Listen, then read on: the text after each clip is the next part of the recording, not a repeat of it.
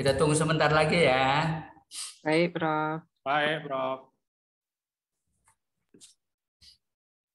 Hai, Prof. Joy agak sedikit backlight ya. Barangkali Mbak Ira bisa dibantu lampunya. Baik, Bu. Sebentar.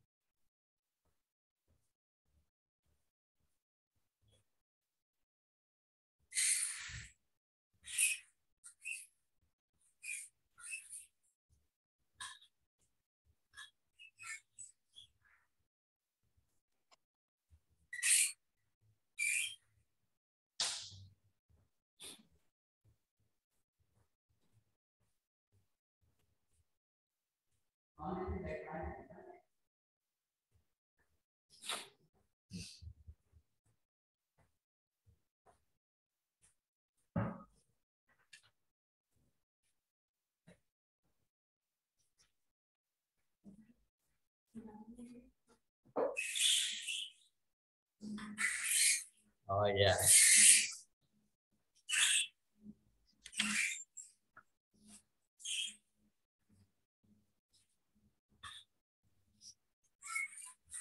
Jadi saudara sekalian, selamat pagi, selamat bergabung di acara kuliah tamu pada pagi hari ini. Sebagaimana telah disebarluaskan, pokok yang mau kita bicarakan pada hari ini adalah mengenai pengelolaan nilai unggul saujana kawasan Borobudur. Nah, perlu saya sampaikan bahwa Dr. Amin Luhur ini adalah salah satu pakar yang berkecimpung di dalam persoalan-persoalan yang mau kita bicarakan pada hari ini. Dan apa yang dijadikan pokok yang mau disampaikan beliau ini adalah hasil cakap-cakap dari bincang-bincang meja bundar pada suatu pagi. Dan dari percakapan itu saya juga belajar bahwa saya masih banyak hal yang belum tahu. Ya. Nah, kita beruntung sekali bahwa Dr. Aminur Suroso bersedia dan berkenan untuk berbagai berbagi pengetahuan beliau yang sangat luas dan dalam mengenai soal yang mau kita bicarakan pada hari ini. Apalagi ketika negara kita telah berketetapan hati untuk terus mengembangkan pariwisata sebagai salah satu sumber dari pendapatan negara kita. Dan di dalam undang-undang kepariwisataan pun disebutkan di situ mengenai berbagai usaha pariwisata yang bisa mendatangkan kemaslahatan bagi banyak pihak dari rakyat kita di Indonesia. Oleh karena itu, saya menyambut dengan baik kedatangan dan kesediaan dari Pak Dr. Amil Luhur dan juga saudara yang berketetapan hati untuk mengikuti kuliah tamu yang sangat penting dan menarik buat kita hari ini. Nah, sehubungan dengan hal ini, kita juga bersyukur pada Tuhan bahwa Tuhan mengizinkan kita memasuki satu hari yang baru dengan kesehatan yang baik dan dengan kesempatan yang sangat langka di mana kita boleh belajar banyak hal yang baru.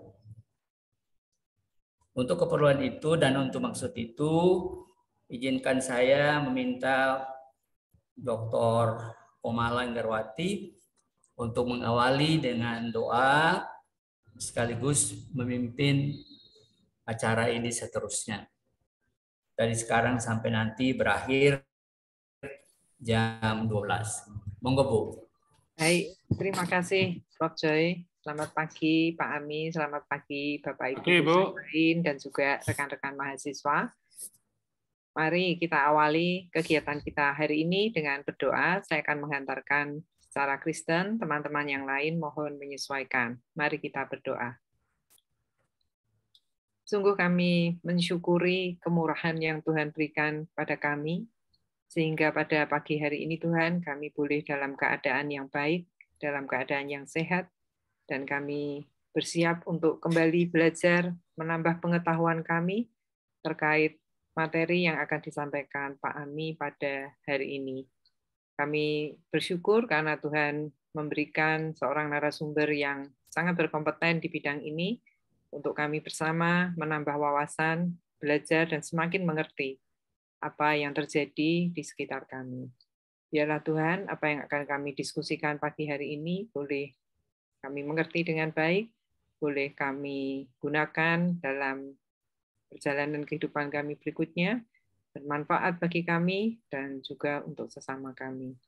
Kami menyerahkan jam ini sepenuhnya hanya dalam tangan pimpinan kasih-Mu, Demi Yesus Kristus, putra kami yang tunggal, putramu yang tunggal, kami naikkan doa kami. Amin. Amin.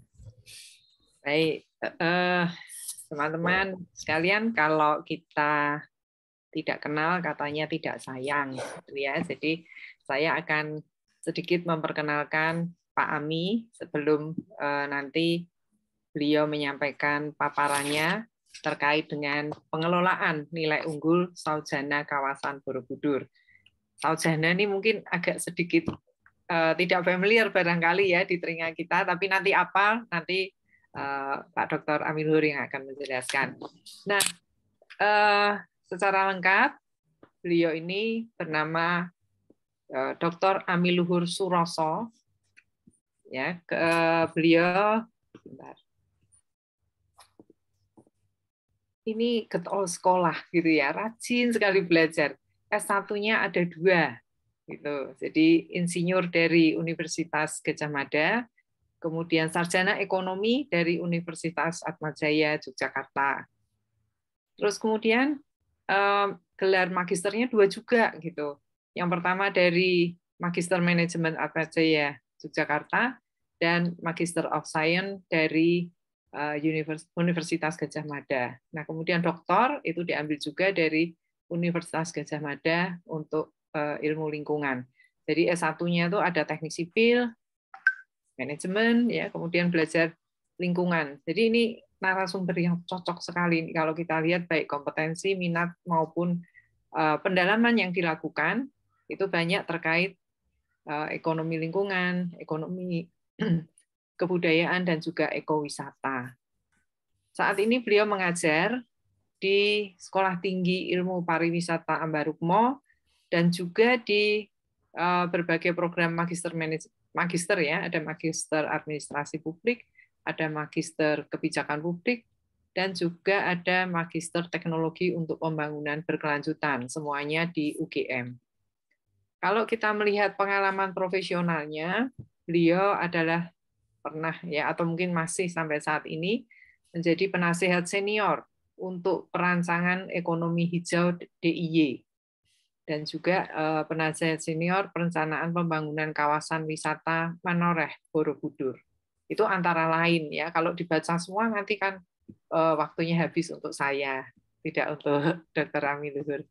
Ya, nah ada beberapa publikasi di berbagai jurnal ilmiah, tetapi yang menarik di sini beliau juga menghasilkan buku Ya, setidaknya ada empat buku yang dihasilkan yang eh, tersantum di sini antara lain ya dua terkait Borobudur dan dua yang lain itu terkait eh, ekonomi hijau. Jadi eh, saya kira dengan melihat latar belakang beliau kita bisa melihat bahwa kita semestinya bisa belajar banyak pagi hari ini.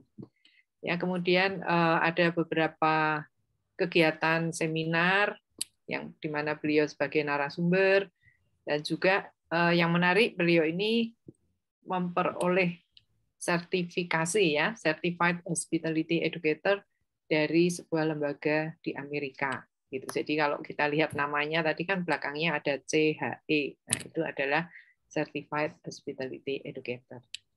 Saya kira eh, demikian poin-poin penting dari eh, narasumber kita dan saya sepenuhnya akan memberikan waktu kepada Dr. Amil Luhur untuk menyampaikan paparannya terkait pengelolaan nilai unggul saujana kawasan Borobudur. Monggo, silakan. Ya, terima kasih Ibu Dr. Kumala. Selamat pagi Profesor Joy. Selamat pagi Pak. Selamat pagi kepada seluruh audiens. Pertama-tama saya ucapkan terima kasih, puji Tuhan, ah, kita semua dapat berkumpul dalam keadaan sehat pada hari ini. Salam Rahayu dari Yogyakarta yang jauh. Nah, saya akan bukan apa ya, bukan sebagai narasumber atau pusat inspirasi juga bukan. Ini saya hanya bercerita, bertutur kata ya ala modern begini karena ini sekarang pakai PowerPoint. Kalau dulu kita hanya bertutur kata, bercerita eh, memakai word of mouth gitu kata Profesor Joy. Saya hanya mengutip saja. Tapi baiklah kita eh, langsung saja ke cerita yang panjang ini. Semoga menikmati dan ya nanti kalau ada diskusi di akhir cerita kita akan apa eh, saling bertukar apa pikiran dan bertukar tempat. Ya, kebetulan saya sekarang jadi orang yang diminta untuk bercerita lah nanti mungkin saya juga akan mendengar cerita dari banyak pihak. Oke. Nah, uh, latar belakang ini nanti tiga, ada tiga tiga pokok yang saya sampaikan. Yang pertama saya akan bercerita tentang mengapa sih Borobudur itu menjadi menarik. Nah, yang kedua problem yang selalu dihadapinya, dan yang ketiga mungkin mungkin karena ya nisbi ini tidak absolut uh, solusi yang yang dapat uh, saya sampaikan. Dan mungkin juga semua teman-teman ya, audiens bisa menyampaikannya ya.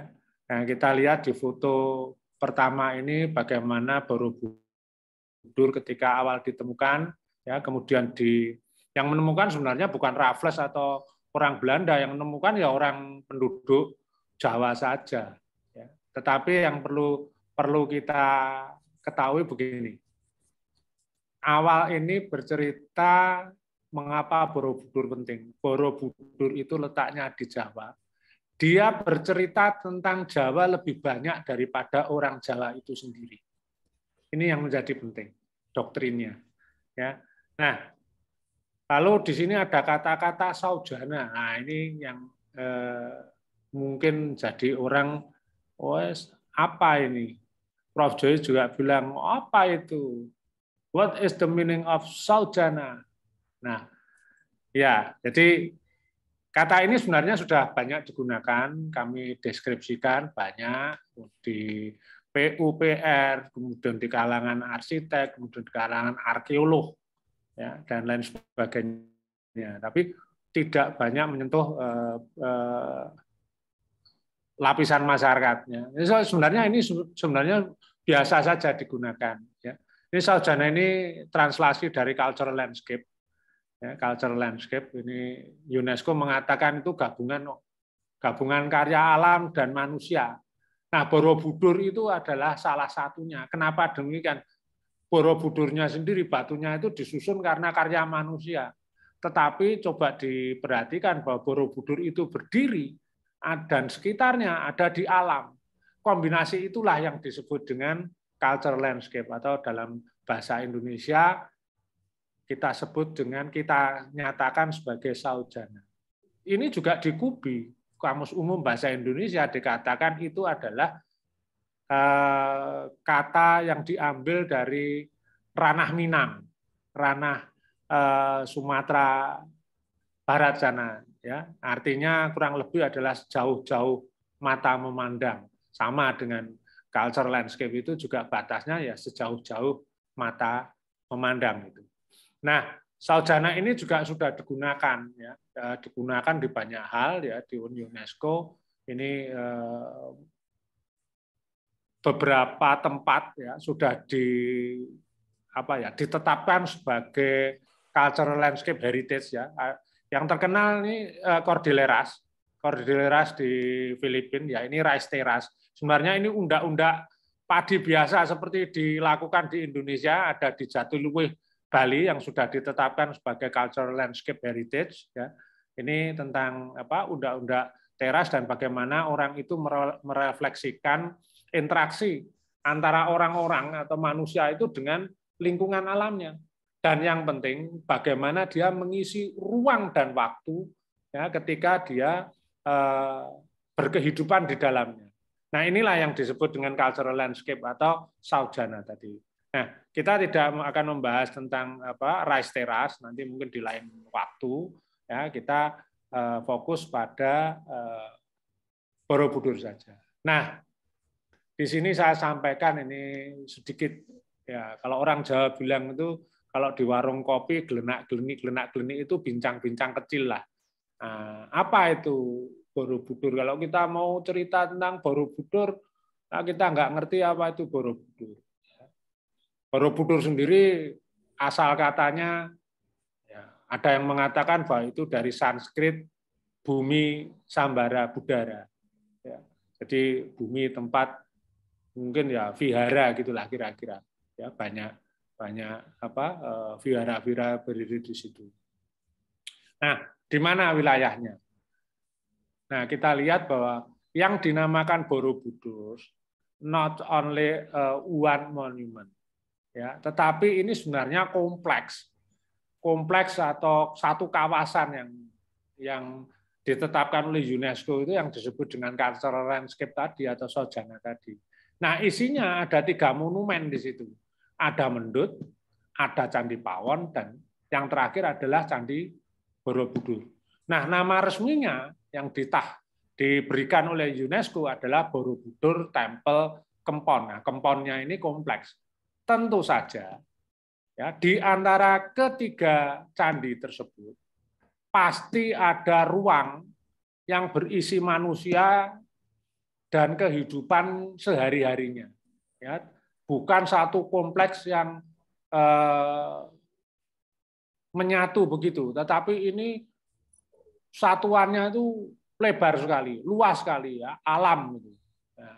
Kemudian wilayah pilihan, ya, pilihan wilayah Borobudur itu didirikan, itu ada di antara pertemuan Sungai Elo dan Sungai Progo.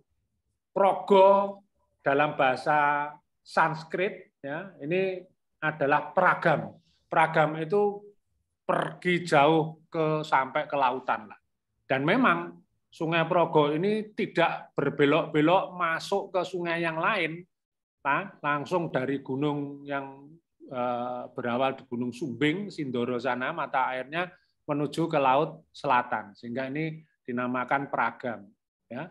Nah, ini kalau orang Jawa bilangnya Kali Lanang, nah, sungai laki-laki, tidak tidak masuk ke apa namanya eh, menjadi anak sungai yang lain. Ini sebuah lembah, ya, lembah yang dikelilingi oleh delapan gunung. Ya. Nah, siapa pendiri Borobudur? Itu juga penting. Ini orang nyebut sebenarnya sebagai Wangsa Syailendra, ya, Wangsa atau dinasti Syailendra. Atau kalau orang asing nyebutnya ini ya Lord of the Mountain, ya bukan Lord of the Ring, tapi ini Lord of the Mountains. Ya ini sang penguasa gunung. Ini adalah apa? persona personifikasi dari eh, gunung-gunung yang ada di di sekitarnya dan gunung kosmik yang dibangun oleh eh, pendirinya. Ya, di situ terdiri dari sebuah kompleks yang tadi dinamakan Borobudur Temple Kempon. Ya, ini tempat ibadah di Mendut, tempat penyucian diri di Pawon dan ziarah ya ada di Eh, Candi Borobudur. Jadi Borobudur ini sejatinya bukan tempat ibadah, tetapi eh, menurut para arkeolog ini adalah tempat ziarah. Ya. Dan di situ orang ziarah itu tidak seharus ziarah itu tempat berkunjung ya. Eh, tidak selalu ziarah itu dikonotasikan dengan apa kemakam itu tidak, tapi ziarah itu dalam bahasa Melayu itu ya berkunjung lah. Nah ini merupakan perpustakaan besar untuk apa eh, selalu belajar hidup. Nah, konstelasinya seperti apa? Ini kalau kita lihat Borobudur itu ada tepat di tengah-tengah eh, Pulau Jawa gitu ya. Di tengah-tengah Pulau Jawa, sebelah utara dari eh, Borobudur nanti kita akan lihat konstelasi lebih lengkapnya pada slide-slide berikut. Tapi saya hanya menyampaikan ada gunung ya, vulkanik, vulkanik ini sebenarnya. Ini yang disebut dengan Gunung Tidar. Ya, ini baru baru istirahat saja gunungnya itu. Tetapi eh, suatu saat mungkin kalau dia bangun juga bisa saja. Ini letaknya di di di Kota Magelang ya, pas di Kota Magelang. Ini orang Jawa menyebutkan sebagai pakunya tanah Jawa. Ya, jadi kalau ini dibayangkan kalau ini meletus maka eh, tanah Jawa ini akan terbelah jadi dua. Nah, Borobudur berada eh, kira-kira di sebelah selatan apa namanya eh, Bukit Tidar itu ya atau Gunung Tidar ya. Nah, ini eh, seakan-akan kalau di peta kalau kita tangkepkan maka eh, Borobudur ini ada di tengah-tengah Pulau Jawa. Ya. Nah, ini konstelasinya bahwa Borobudur itu terletaknya di sini, tetapi saujananya itu keliling ada di delapan gunung yang mengelilinginya. Ya, ini delapan gunung yang mengelilinginya ada Menore, ada Sumbing, ada Sindoro, ya, kemudian juga ada Tidar, ada Andong, Telomoyo, Merbabu dan Perapi. Ini delapan gunung yang eh, mengelilingi satu gunung kosmik yang yang dirancang oleh eh, Raja Samaratungga. Ya, ini dan Borobudur ini candinya ini kompleks candinya ini tidak didirikan dalam satu masa, tetapi eh, ini mungkin ada empat raja yang yang mendiri yang mengelolanya, mungkin bukan lebih, karena ini memakan waktu 100 tahun untuk apa eh, mendirikan candi tersebut. Ya, nah pertanyaan yang selalu menggelayuti saya dan teman-teman itu begini, mengapa ya harus Borobudur gitu. Ya, kita ketahui Borobudur ini untuk candinya sendiri ya, bukan kompleksnya, candinya sendiri ini kan ada tiga unsur, Kamadatu, Rupadatu, dan A Rupadatu. Kamadatu ini masih urusannya dengan manusia lah, ya unsur nafsu yang ada di situ. Kalau naik sedikit, ya kita sudah eh, beralih pada unsur yang dinamakan wujud. Nah ini kira-kira ini kalau sudah selesai urusan dunianya, dia akan berjalan lagi pada A rupa datu. A itu tidak, rupa datu itu wujud. Artinya sudah tidak berwujud. Artinya kalau sudah sampai di stupa yang paling tinggi ini, orang itu sudah moksa, sudah apa menuju nirwana gitu ya. Badan wadaknya ditinggal, dia Eh, akan pergi ke tempat yang Maha Esa gitu ya. Nah, ini di situ ada 504 buah patung Buddha, 72 di antaranya adalah stupa berterawang, ya, kemudian 432 relung terbuka di pagar langka dan seterusnya. Ya, ini ini hanya konfigurasi yang menyusun dan kita ketahui Borobudur ini tidak seluruhnya berwujud batu, ya, tetapi ini sebenarnya eh, sebuah batu yang menyelimuti bukit. Ya, jadi ini di dalamnya sebenarnya bukit ya, bukit Borobudur, kemudian diselimuti oleh eh, ini apa namanya batu-batu, susunan batu-batu yang me, membentuk Borobudur. Ya. Nah, kalau kita lihat konstelasinya, ya ini eh, apa namanya Borobudur ini ada di antara ini ya apa namanya Sungai Progo dan Sungai Elo ya ini di di sini dan eh, punya nomor daftar ya daftar di UNESCO ini nomornya C592 C itu culture. Ya karena ada juga yang N ya itu eh, natural. Ya jadi ini World Heritage ini atau pusaka dunia ya heritage ini Eh, kami terjemahkan sebagai pusaka bukan warisan. Ya, karena warisan itu konotasinya sering kali juga ada yang tidak baik gitu warisannya. Nah, kalau pusaka itu eh, kira-kira ya semuanya yang diberikan itu pusaka eh, baik gitu ya. Indonesia pusaka gitu. Tidak ada Indonesia warisan. Ya, ya, nyanyiannya yang selalu kita nyanyikan sehari-hari itu Indonesia pusaka, bukan Indonesia warisan. Ya. Nah ini mirip-mirip ya dengan eh, Gangga dan Yamuna. Ini kalau anda lihat di sini di India ini Gangga dan Yamuna, kalau di Irak itu adalah Tigris dan Euphrates. Ya, semuanya itu daerah subur yang ada di tengah-tengah itu. Nah, kenapa memilih itu? Nah, ini juga mungkin ada ada cerita uh, berkelanjutannya, ya. Ini uh, menjadi sesuatu yang penting. Nah, bentuk lahan ini ini juga menarik. Bentuk lahannya ini seperti mangkok lah. Ya, ini ini kalau eh, Bapak dan Ibu lihat ya yang di sebelah ini mangkok. Nah, ini kira-kira bentuk lahan di Borobudur itu mangkok yang terdiri dari bermacam-macam eh, apa namanya ya bentuk lahan ya. Ini yang utara, yang sebelah utara tadi eh, terpengaruh oleh eh, satuan breksi ya, breksi seperti yang ada di Prambanan itu ya, breksi. Ini eh, dataran Gunung Tidar Nah, kemudian yang ini yang di sebelah barat ini ini Sungai Progo. Ini mirip-mirip kalau orang orang Chinese nyebutnya yin dan yang gitu. Ya, ini yang satu ginkang, yang satu guakang, yang satu lemah, yang satu keras gitu. Ya.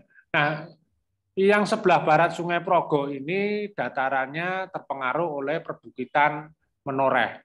Ya, kebanyakan di situ adalah lahan dari bekas gunung masa tersier atau masa tersier. Masa tersier itu eh, masa ketiga itu eh, sudah mati gunungnya.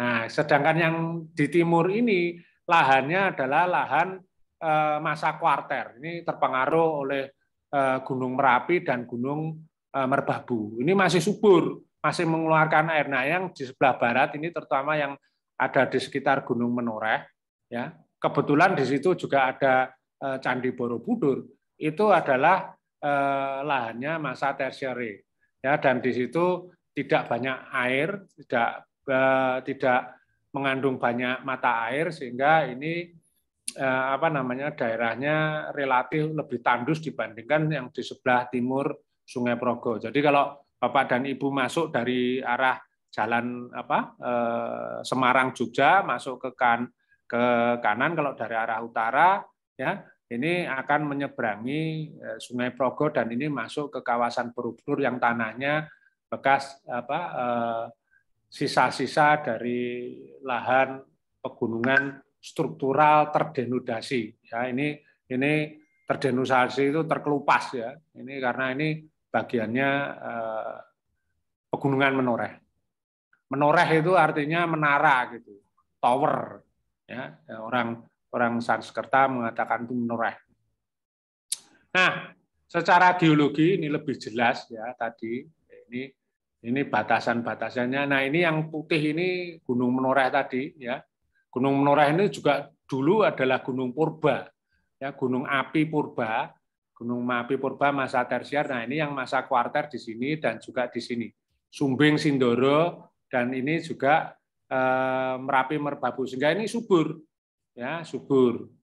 Nah, ke, kemudian eh, kalau kita lihat ya eh, ini ini breksinya ya breksi tadi ya, tanahnya bermacam-macam ini tidak satu satu saja. Nah, di sini yang hijau ini adalah batuan lempung hitam Danau Borobudur, bekas Danau Borobudur. Nah, ini ini tanahnya lempung hitam gitu. Ya, kemudian Eh, di sini eh, ada eh, sisa-sisa apa batuan beku ya. Dan kemudian masih banyak yang lain ya. Ini ini kuarter gunung api Perbabu yang di sini ini yang merapi ya. Ini penyusunnya. Tapi semuanya membentuk yang kita sebut dengan Borobudur Basin gitu ya. Ini kalau bapak dan ibu punya waktu gitu nanti cari peta geologinya uh, Van Bemmelen gitu. Ya, ini orang Belanda menulis tentang uh, Borobudur, ya, tentang apa geologi di Pulau Jawa. Ya, ini menarik untuk uh, untuk studi-studi ya yang terkait dengan berbagai hal yang kompleks terutama dalam pengelolaan. Kalau kita mengatakan pengelolaan atau manajemen ini sekarang rasanya tidak bisa hanya satu kaki saja. Ya, ternyata setelah masuk di dalamnya saya terjebak dalam banyak kaki ini. Ternyata kaki seribu ini lebih penting dibandingkan kaki dua atau kaki satu. Ya.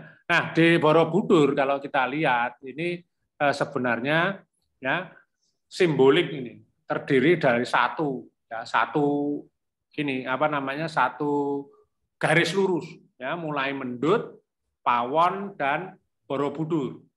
Ya. Jadi orang itu beribadah di Candi Mendut, kemudian dia berjalan menyeberangi Sungai Progo. Ya, dulu tidak ada jembatannya. Ya, menyeberangi Sungai Progo, kemudian menyucikan diri di Candi Brajanalan, Braja, Fajranalan, Brajanalan, oh, ucapan orang Jawa menjadi Brojonolo. Nah, lebih lebih afdol lagi terkenal sebagai Candi Pawon. Nah, kemudian berjalan ke barat ke Candi Borobudur. Ya, Nah, itu ritual ritual Buddhisnya ya. Nah, eh, legenda Jawanya begini. Ini legenda mitos gitu. Boleh percaya, boleh tidak ya untuk pengantar tidur, untuk cerita-cerita yang lain juga tidak apa-apa. Jadi, mengapa dinamakan mendut? Mendut itu kalau orang Jawa eh, bilangnya ngandut atau hamil. Ya, ini karena intercourse ya, ini eh, antara apa? bersatunya kali atau sungai laki-laki dan sungai perempuan ya. Sungai Progo dan sungai Elo tadi ya. Nah ini karena ada intercourse maka dia eh, menjadi eh, hamil gitu. Katanya begitu ya, sehingga terkenalnya sebagai candi candi mendut ya candi ngandut itu. Nah eh, kemudian kalau kita berjalan ke barat lagi, di Candi Pawon itu memang tidak ada patung. Ini konotasinya bahwa orang itu sudah melahirkan begitu. Rahimnya kosong karena anaknya sudah lahir. Nah, lalu pertanyaannya anaknya mana? Ya, anaknya di mana? Ya, anaknya Candi Borobudur itu yang yang gede dan cantik itu. Tidak mungkin ayah dan ibunya kalau apa namanya menimang-nimang anaknya, oh anak saya yang tidak cantik, ya, anak saya yang tidak bagus, pasti ya menimang-nimangnya anakku yang cantik ya sedunia hanya satu-satunya begitu ya kira-kira. Nah ini juga terjadi di Borobudur nih. Ini ini ini legenda saja ya. Tadi ini eh, hamil kemudian dia melahirkan ya ini buktinya rahimnya sudah kosong dan ini keberuntungan. Nah ini eh, cerita yang melekat ya eh, pada masyarakat yang ada di sekitar eh, wilayah itu.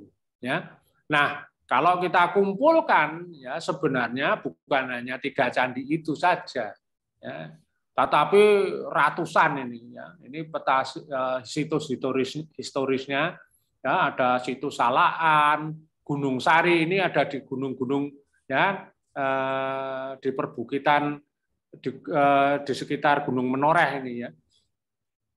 Candi Gunung Wukir ini terkenal ini karena ada prasis, prasasti canggalnya yang eh, apa namanya eh, menceritakan tentang siapa sih eh, candi pemilik Candi Borobudur itu ya. Kemudian ada Dipah, kemudian ada situs Karangrejo ini sampai ke wilayah Gunung Sumbing pun masih ada di situs Gombong ya.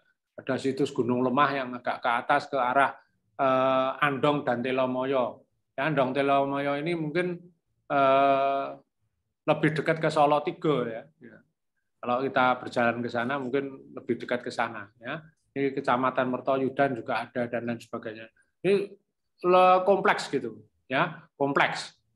Nah, kemudian Nah, ini kalau kita lihat ya dari peta tadi ya ini yang tertiary volcanic rock tadi, yang di sini yang quaternary ya, yang eh, quaternary ya yang eh, apa namanya? kuarter ya, batuan vulkanik ini. Ini ya batuan vulkanik tetapi ini masa tersier dan ini. Nah, di sini tampak ini di dalam peta ini eh, sumber mata air. Ya, ini sudah dipetakan sumber mata airnya, ya, dan terlihat bahwa yang hijau itu yang di sebelah kanan apa eh, maaf di sebelah kanan Sungai Progo ini yang di tengah ini Sungai Progo ya Progo Stream ini lebih subur dibandingkan yang di sebelah uh, barat ini ya. Re, uh, repotnya orang ingin bangun membangun hotel membangun apa-apa itu di sekitar ini di sekitar sebelah barat Sungai Progo ya nah ini juga akan akan menyebabkan kekacauan kalau ini tidak apa namanya tidak hati-hati karena di sini Eh, airnya sulit ya dan juga wilayahnya tandus. Tetapi di sini adalah sumber pangan gitu. Ya, sehingga kalau mau mengembangkan untuk usaha pariwisata atau mengelola ini ya juga harus hati-hati. Nah di di situ di Borobudur sendiri ya ada uh, ini apa namanya? Danau. Dulunya adalah danau. Danau ini Eh, sudah ada ya. Sudah ada 20 ribu tahun sebelum masa sekarang ya. Ini dikatakan disingkat sebagai years before present ya, ditarik dari tahun 1955 datingnya memakai karbon ya. Memakai karbon dites gitu ada seorang kawan saya namanya Dr. Helmi nanti kita akan dengar dia bercerita Eh, sekelumit tentang eh, Danau Borobudur ini. Ya, jadi Anda dapat mendengar dari sumber aslinya ya mengapa danau ini terjadi. Tapi kira-kira ya ini masa masa itu ya karena ini daerahnya cekung dan banyak aliran sungai ya. Ini akhirnya semuanya eh, menuju ke wilayah Borobudur yang seperti mangkok tadi. Ya, dan mengapa orang memilih eh, Borobudur didirikan di situ? Salah satunya juga karena ada danonya ini. Ya, nah ini nanti akan cerita dari Dokter Ilmi. Kita lihat ya, ini Borobudurnya ada di sebuah tanjung gitu, di ujung ya Jasirah. Ya. Nah, ini ada tiga masa sampai sekarang eh, hanya tinggal sisa-sisanya ya eh, Danau Purba itu kalau yang biru itu masanya 20.000 ya, years before present. Ya, kemudian eh, yang agak biru muda ini adalah 5.000 years before present, sudah mengecil, kemudian mengecil lagi ini karena juga ulah gunung-gunung di sekitarnya. Jadi mereka meletus, kemudian apa namanya sisa-sisa eh, letusannya itu menutupi ya Danau Borobudur itu sendiri. Dan diingat bahwa di Borobudur ini dulunya adalah lautan. Ya, lautan yang masuk dari selatan, ya selatan daerah istimewa Yogyakarta itu ada namanya eh, Kulon Progo. Dulu dulu terkenalnya itu sebagai Graben Bantul, bukan Kulon Progo. Kulon Progo itu baru-baru ini saja nyebutnya. Tapi itu disebut dengan Graben Bantul. Graben itu adalah tanah yang berada di bawah. Jadi eh, kata-kata Bantul itu sendiri sudah sudah eh, Sanskrit sudah lama ya. Graben itu adalah tanah di bawah. Nah, air lautnya masuk ya sampai ke Borobudur lewat relung-relung bukit-bukit itu ya. Sebagian juga masih ada sisanya terjebak di wilayah ini kalau di Bor masih uh, asin gitu. Ya.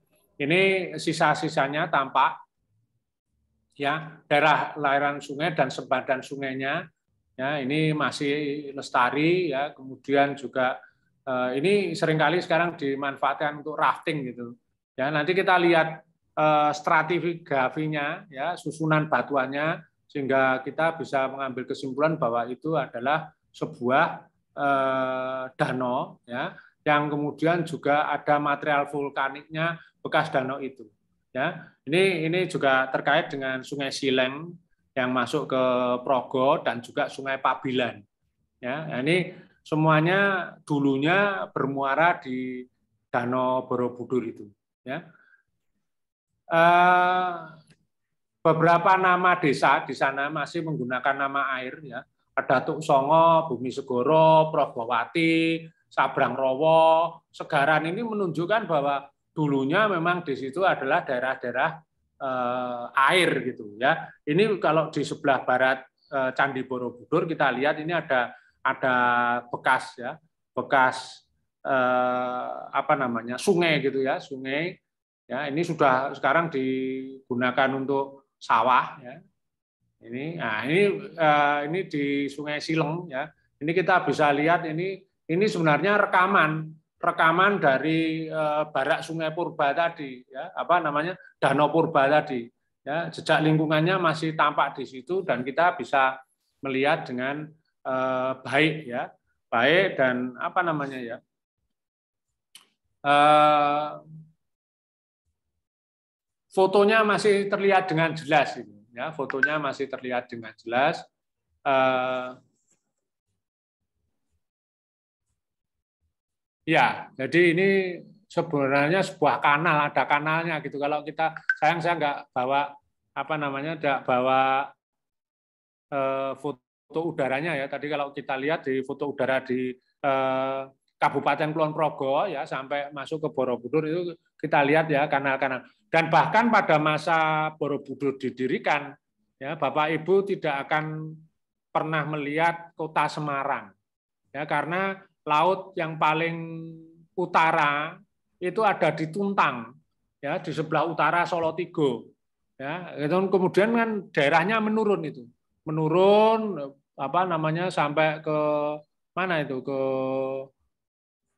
uh, Semarang atas ya. Semarang bawah itu masih belum ada masih rawa-rawa ya. Jadi kalau ada cerita Cheng mendarat di Semarang itu ya sebenarnya itu adalah trik pariwisata ngibul ya mestinya Cheng Hu-nya mendaratnya di Tuban atau di di Demak mungkin di Demak pada waktu itu karena kerajaannya masih uh, di Demak ya belum ada Semarang itu masih masih rawa-rawa ya karena ya itu tadi eh, air lautnya ke, masih masuk sampai ke daerah Tuntang. Gitu. Nah ini cerita lain dari Borobudur tadi. Ya, nah seorang artis ya ini namanya Newen Kam gitu ya cerita dulu mendeskripsikan bahwa Borobudur itu adalah eh, apa namanya trate yang mengambang di atas air gitu ya karena ini eh, sebagai perlambang eh, apa namanya datangnya Buddha Maitreya keempat gitu. Ya, ini kan candinya ini gambar di danonya. Ini, ini lukisannya Nyon Kam gitu. Dan di di Borobudur sendiri juga digambarkan bunga terate ini. Nah, ini terate yang mengambang di ini eh, pemikirannya kira-kira seperti itulah ya, mengambang di di atas air gitu ya. Ini kalau kita lihat ya foto eksotik Borobudur ini ya miliknya Pak Parno Bakmi itu ya ini seakan-akan juga mengambang di uh, laut ya. Nah untuk jelasnya kita lihat nih uh, cerita dari seorang teman ya. Ini Dr. Hilmi Murwanto ya. Beliau uh, seorang geolog ya. Geologis ya yang banyak akan cerita tentang danau kita akan dengarkan mungkin sekitar lima menitan sampai tujuh menit ya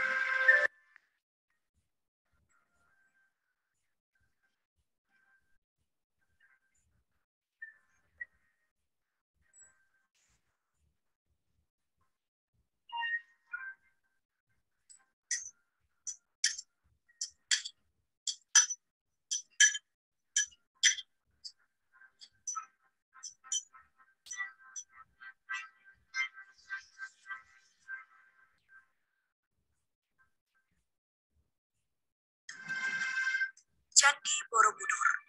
Siapa yang tidak kenal bangunan yang termasuk keajaiban dunia ini? Candi Buddha ini didirikan pada abad ke-8 pada masa pemerintahan Raja Samaratungga dari kerajaan Shailendra yang berkuasa di tanah Jawa pada saat itu. Candi Borobudur terletak di Jawa Tengah, tepatnya di Kabupaten Magelang, sekitar 40 km ke arah dari kota Yogyakarta.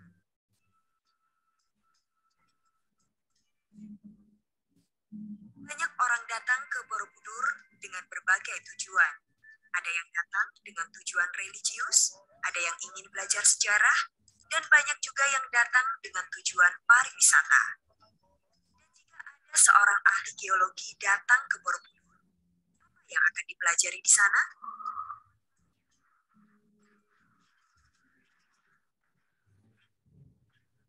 Sekarang kita berada di puncak Candi Borobudur.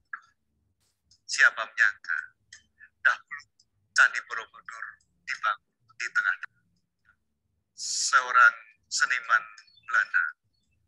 Bernama Dion Kemp bahwa Candi Borobudur dibangun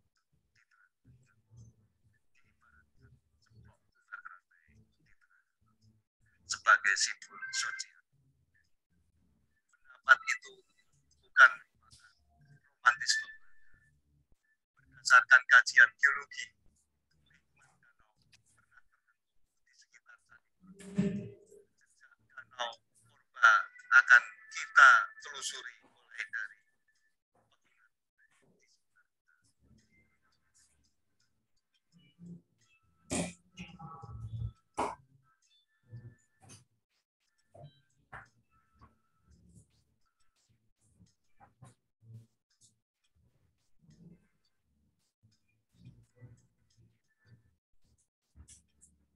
saat ini kita berada di pegunungan tepatnya di Gunung Kinslow.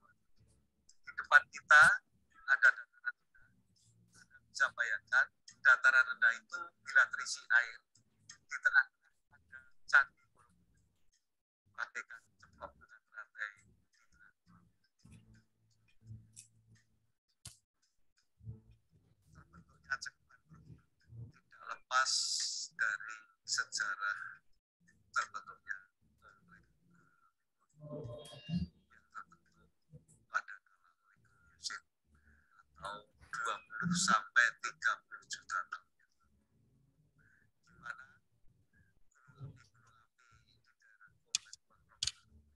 sebagian besar tubuhnya tenggelam di bawah muka air laut. Dibuktikan dengan ditemukannya terumbu-terumbu karang di beberapa.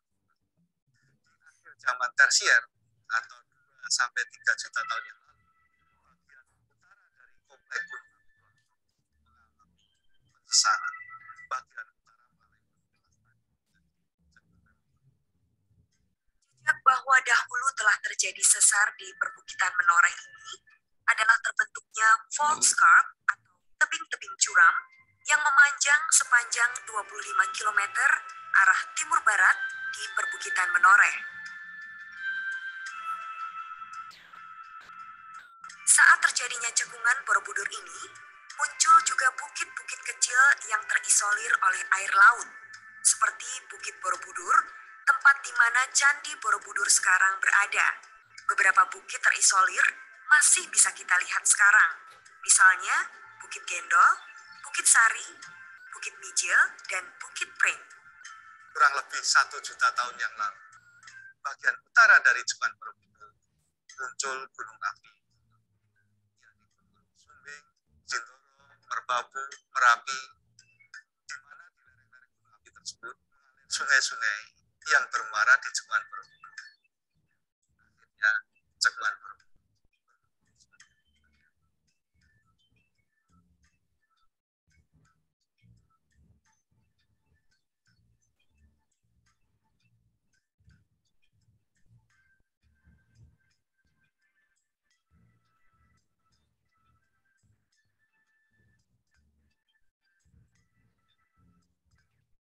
Hum.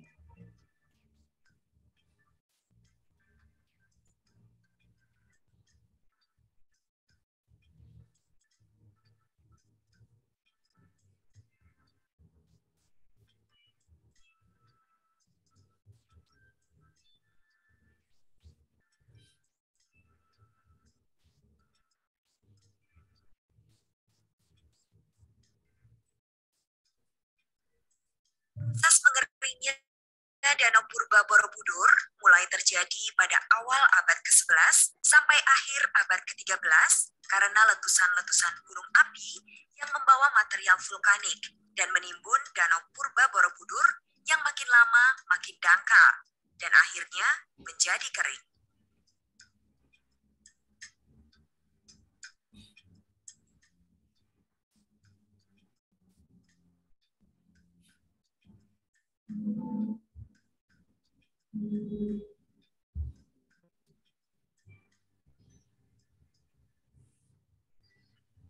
Proses penimbunan ini bisa dicontohkan dengan melihat beberapa candi Kalasan yang berada di bawah permukaan tanah dan dahulu tertimbun oleh endapan vulkanik dari letusan-letusan gunung api.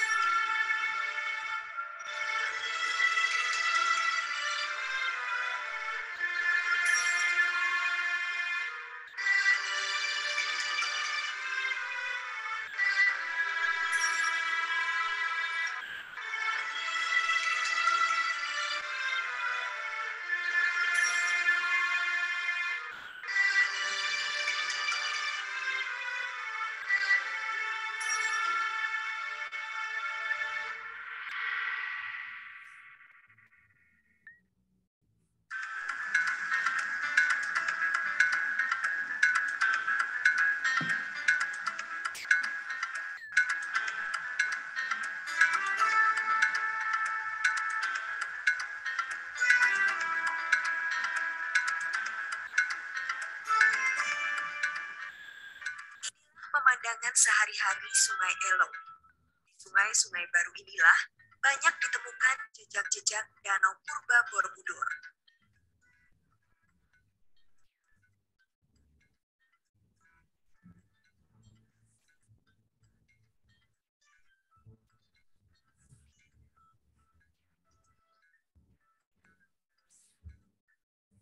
Tidak jauh dari tempat ini adalah muara pertemuan antara Sungai Elo dan Sungai Progo.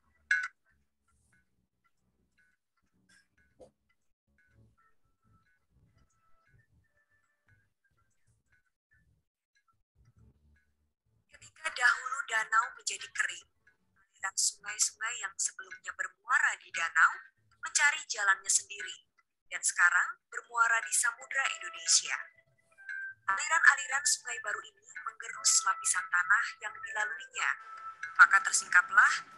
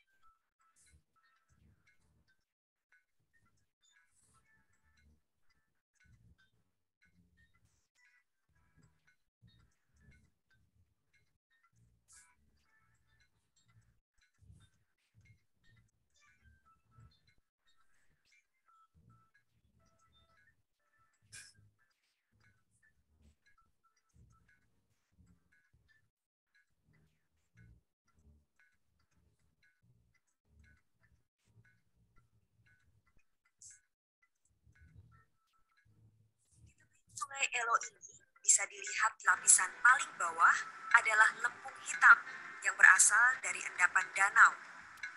Di atasnya lagi ada batu-batu besar yang berasal dari gunung api dan dibawa oleh aliran sungai lama.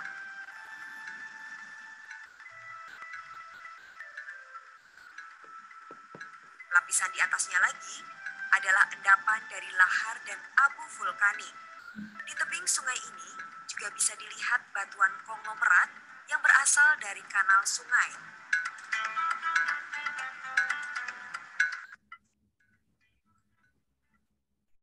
Iya, tadi sudah kita lihat ya tentang Danau uh, Purbanya. Kita lanjutkan ini populasinya ya. Ini yang di sebelah timur, ini sebelah barat, ini yang di sebelah barat Sungai Progo relatif lebih sedikit dibandingkan yang berada di sebelah timur karena ini uh, tempatnya lebih subur gitu ya. Dan ini kita lihat peta sosial ekonominya ya ada ada sekolah, ada pasar, ada bermacam-macam lah. Ya, ini sudah mulai tumbuh di wilayah uh, Borobudur itu. Ya, ini kalau kita petakan ya peta vitalitas masyarakatnya, ya, di sini uh, tadi uh, di awal kita cerita tentang cultural landscape. Nah, di sinilah ya nampak culturalnya. Ya, ini ada ada kegiatan apa namanya kesenian, ada pendidikan, ada seni pahat, seni kriya dan lain sebagainya termasuk ini ya, penggunaan apa namanya kereta ini dan lain sebagainya lah. Ya, jadi ini adalah uh, vitalitas masyarakat yang ada di situ yang bisa dikembangkan. Nah, di situ juga ada flora fauna. Ini yang flora kuno yang ada di relief candi ini ada banyak ini. Ya hanya yang sudah menghilang langsep dan jambu mawar. Kalau Anda uh, belum pernah lihat jambu mawar bisa ke Keraton Yogyakarta. Ya di Keraton Kilen itu ada jambu mawar. Ya bentuknya seperti ini nih jambu mawar. Ya enak manis gitu. Ya, tapi yang lain-lainnya termanggis pinang dan lain sebagainya ya masih banyak di sana ya. Kue paru dan ini semuanya ada di relief Borobudur ya. Dan kemudian di sekitarnya juga banyak sebenarnya banyak apa bahan baku yang yang terlupakan saja ya seperti eh, lorostu ini ya. Ini talas kapuk nangka nanas dan lain sebagainya. Ini bisa digunakan untuk uh, berbagai macam uh, apa namanya uh, bahan gitu ya. Ini untuk kerajinan untuk apa namanya minyak untuk sabun untuk lilin ya. Ini tidak tidak pernah diperhatikan oleh oleh orang-orang pariwisata ya. Orang-orang manajemen apalagi. Ini tidak pernah ini memperhatikan yang yang seperti seperti ini. Padahal ini ini bisa dijadikan apa wilayah UMKM gitu. Bambu juga kaya bambu di sana ya. Mulai ampel, apus ya, bambu kuning, legi, ya, ori, ya, petung, tutul yang ada apa eh, noktah-noktahnya, polkadotnya itu, ya, pulung yang hitam itu semuanya ada di sana. Ya, ini tidak pernah dimanfaatkan dengan baik oleh oleh eh, orang-orang yang mengelola di sana. Ya, di sana juga ada ini ya Atakus dan Krikula ini kita sebut dengan sutra liar atau silk moth ya.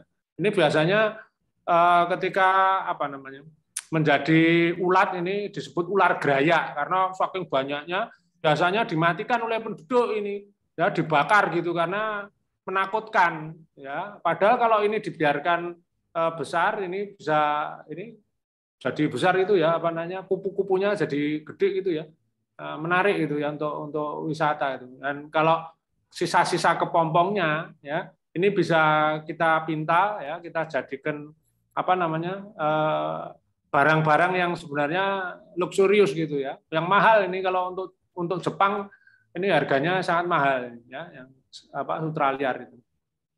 Di sana juga ada lang Jawa.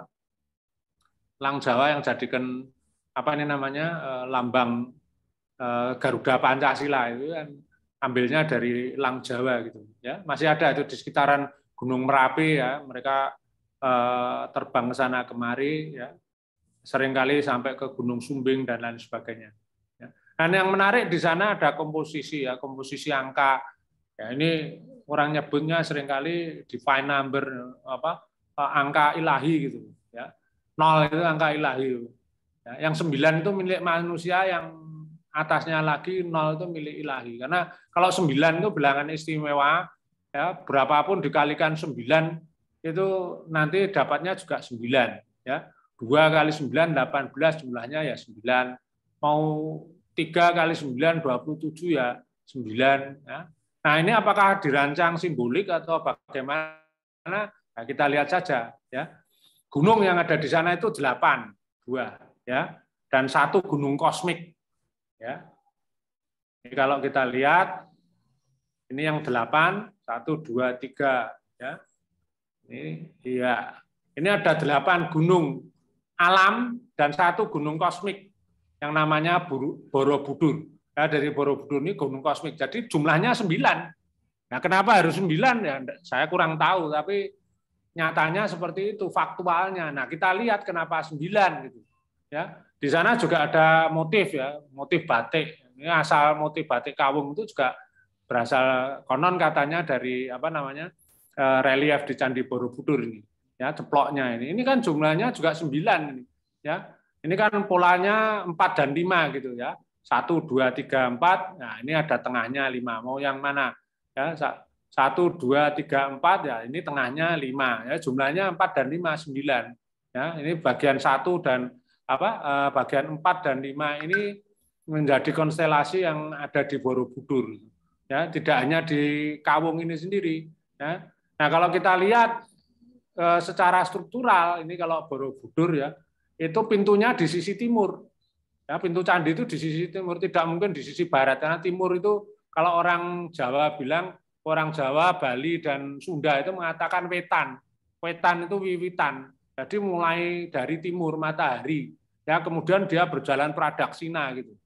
Ya, pradaksina itu e, berkeliling mengikuti jarum jam, bukan prasamnya kembali apa melawan jarum jam itu biasanya melambangkan kematian. Ini kalau kehidupan ya pradaksina gitu. Ya, ini sudah ditentukan ini.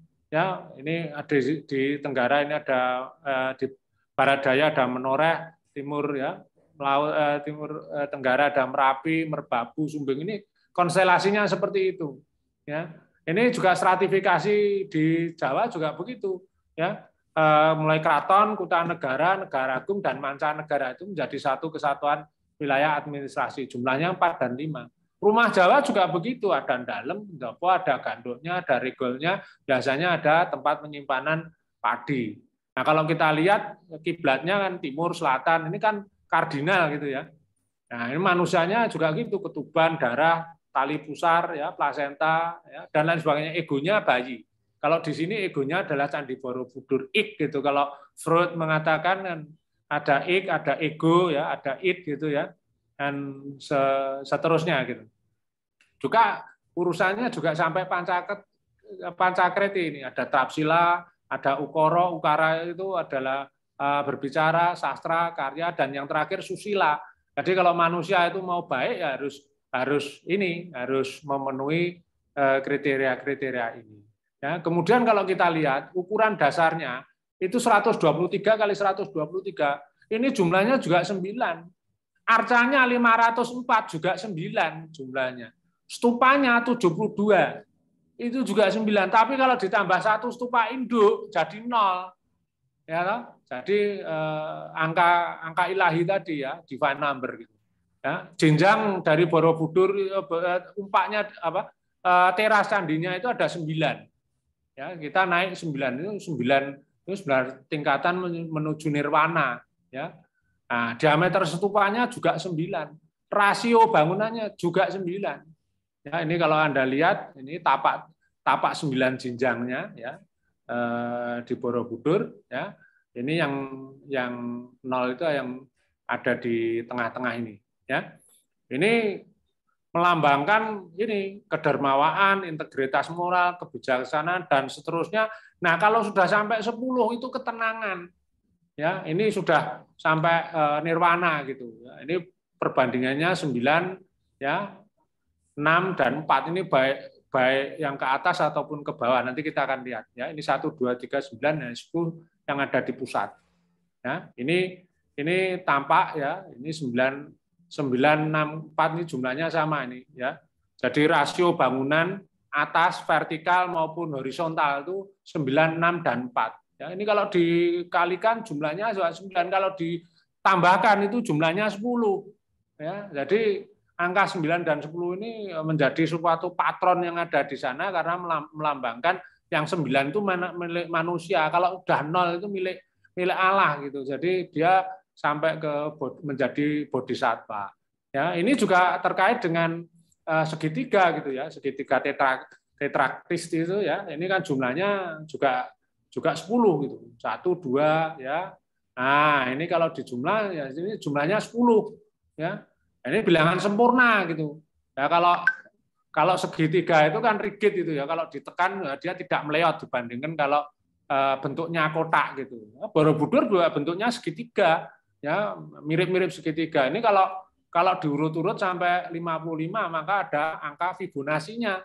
Ya, deret yang terkenal itu deret Fibonacci jauh sebelum si Leonardo de Pisa itu uh, menulis buku tentang Liber Abaci ya ini di stupanya itu sendiri juga apa rasionya juga menggunakan uh, golden ratio jadi apa matematika Fibonacci. Nah kalau kita lihat stupa ini ini ukurannya juga dia, apa diameter teras melingkarnya ini ya.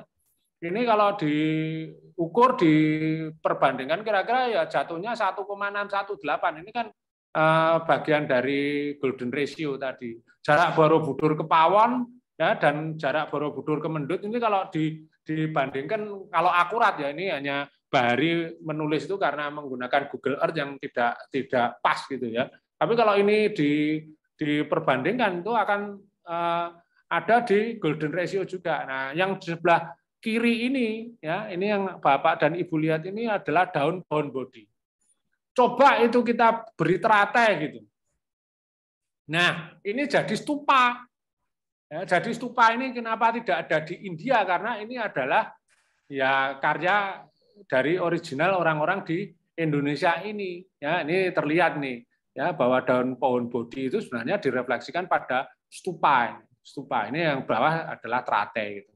Ya. Nah, ini di puncak Borobudur ini ya pertemuan untuk empat musim ya secara kardinal jumlahnya 364 hari ya eh, sorry 365 hari lunar nih matahari ya dan 10 jenjang mencapai nirwana. Ini jarak lateralnya itu kalau dijumlah ini seperti itu. Ya ini memakai tala ukurannya. Dulu belum pakai meter atau sentimeter tala itu eh, pakai eh, panjang apa wajah manusia dari rambut atas dahi sampai dagu ya atau jarak dari ibu jari.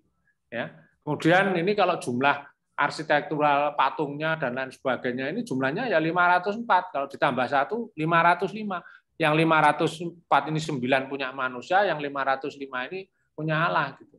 Nah itu tadi adalah cerita bagian mengapa Borobudur itu eh, menjadi kaya gitu. nah, persoalannya adalah di pengelolaan. Nah ini ini urusannya orang manajemen ya. Ini dulu JICA membagi lima ya. Ada zona satu di candinya Zona duanya itu adalah di tamannya yang dikuasai oleh PT Taman. Zona tiga itu di luar yang biru ini. Nah, zona empat itu dikatakan tempat panorama bersejarah dan yang terakhir ini yang disebut cultural landscape itu eh, zona lima gitu. Sayangnya eh, zona Jaikanya ini hanya diadopsi tiga oleh pemerintah ya ini versi Kepres nomor 1 tahun 92 ini menjadi kisruh dan berkelanjutan di situ di pengelolaannya karena ini ada tiga raja di situ ya eh, zona satu dikuasai oleh Dibut, zona dua oleh BUMN, zona tiga dan seterusnya itu oleh Dagri dan tidak pernah tidak pernah eh, punya visi yang sama gitu. Ya, kenapa demikian? Zona satu itu cost center, nah zona dua itu profit center. Ya, ini pasti akan terjadi eh, banyak gesekan. Apalagi sekarang ada eh, apa ya Badan Otorita Borobudur itu semakin tidak jelas mau dibawa ke mana. Badan Otorita Borobudur, tapi dia tidak menguasai Borobudur, dia justru menguasai menguasai hanya sebagian di Menoreh saja. Nah ini juga menjadi masalah, ya masalah eh, maaf ini. Ya, Kemudian kalau kita lihat ya wisatawan yang berkunjung di Borobudur itu semakin hari semakin banyak. Ya terakhir di data itu hampir 4 juta orang yang datang. Ya 4 juta yang datang. Ini kalau per bulan kita lihat di Juni, bulan Juni dan Desember itu puncaknya. Ya, setiap hari bisa mencapai kira-kira 10.000 rata-rata 10.000 bahkan kalau kalau hari-hari tertentu di puncak liburan itu bisa 55.000 dan tak dan pernah ada mencapai 100.000. Ini kan menjadi masalah. Ya, masalah apa? Ya deformasi pada struktural dan degradasi batuan eh, pendukung candinya itu. Belum lagi ya apresiasi wisatawan pada monumen. Anda bisa lihat di zaman kolonial aja untuk nari-nari. Padahal itu adalah tempat tempat ziarah, tempat perpustakaan dan itu di apa namanya? dimuliakan oleh umat Buddha gitu. Ya, nah, ini kan sesuatu yang tidak pas gitu. Ya, ini pengunjung candi eh, 2015 dari 2 sampai 2020 ini 2020 tampak eh, rendah karena masa Nah, terjadi polemik sehingga pemerintah mengambil aksi menetapkan kuota pengunjung itu 1.200 hari, 1.200 eh, orang per hari dengan nilai apa kalau masuk ya suruh bayar 750.000 kalau mau naik. Wah, ribut ini semua, ya. Ribut. Nah, kemudian eh, hitung-hitung-hitung-hitung lagi eh, oke okay lah tiketnya tidak dinaikkan tetapi pengunjungnya hanya 1.200 Ya, tapi kalau saya hitung, itu satu hari itu sebenarnya hanya 391 orang yang boleh naik. Bukan 1.200 itu eh, ya nggak tahu saya ngitungnya dari mana, mungkin juga punya ahli yang lain. Tapi kalau saya menghitung kira-kira ya ini di Arupa Datu sehari itu hanya bisa 66 orang. Ya, Rupa Datu 110 dan Kama Datu 214. Jumlah keseluruhannya tidak lebih dari 400 orang tuh 391 sekian. Ya, ini ini eh, kalau kita kita mau hitung betul ya daya dukungnya sana itu hanya segitu. Nah, revenue di di Kabupaten Magelang karena Borobudur itu ada di Kabupaten 96 persen itu berasal dari Borobudur. Ya, yang lain-lainnya pohon mendut itu nah, kecil lah. Ya, umbul ya, apa namanya candi umbul, candi bleder dan yang lain-lainnya itu kecil sekali lah, ya kecil. Nah, kalau kita lihat, ya kita lihat lagi kemiskinan di Kabupaten Magelang ini Borobudur juara nomor berapa nih? Satu, dua, tiga, empat, nomor enam. Padahal tadi kontribusinya paling besar juara, tapi kemiskinannya juga juara. Ini kan sesuatu yang anomali, ya di sana anomali. Belum lagi ini pengganggu-pengganggu ini, ya. Ini kalau kita mau lihat saujananya saja tertutup oleh ini, Ya, ini kritikan sudah banyak ini, tapi ya sering kali ya nekat saja dipasang, nanti dilepas lagi, dipasang lagi. Ya, ini billboard-billboard seperti ini kan sangat mengganggu. Kenapa eh, tidak bisa dilakukan dengan cara-cara yang lebih soft gitu misalkan? Ya, belum lagi BTS-nya ini. Ya, jadi problemnya di sana ya itu degradasi lingkungan. Yang kedua tidak ada keterkaitan antara simpul-simpul tematik di Candi Borobudur itu. Ya, kemudian apresiasinya juga lemah. Nah, strateginya ya, kita rancang ulang, rancang ulang zona jika tadi ya, kita observasi di sana, kita buat, ya, kita re-engineering, ya, kita batasi kembali, ya. Nah, sampailah pada tahun 2007 ya, saya susun gitu, bentuknya seperti ini, ya. Kemudian diambil diminta oleh PU ya untuk dikembangkan. Ya, akhirnya di tahun 2008 dikembangkan ini ya desain awalnya ini sampai pada akhirnya 2010 ya ini yang yang diadopsi oleh apa uh, Perpres ya di tahun 2014 ya. Ini masih menggunakan jadi kalau kalau jika menggunakan JIKA itu menggunakan epicentrumnya Candi Borobudur Ya, saya menggunakan epicentrumnya adalah Borobudur Temple Complex, ya, yang seperti yang disusun oleh UNESCO. Jadi ini sesuatu perbedaan yang hakiki. Ya, ini tampak konstelasinya terhadap kawasan ini tadi ya, yang kita sebut sekarang zona satunya seperti ini. Nah, zona duanya ya, saujananya ada di sini.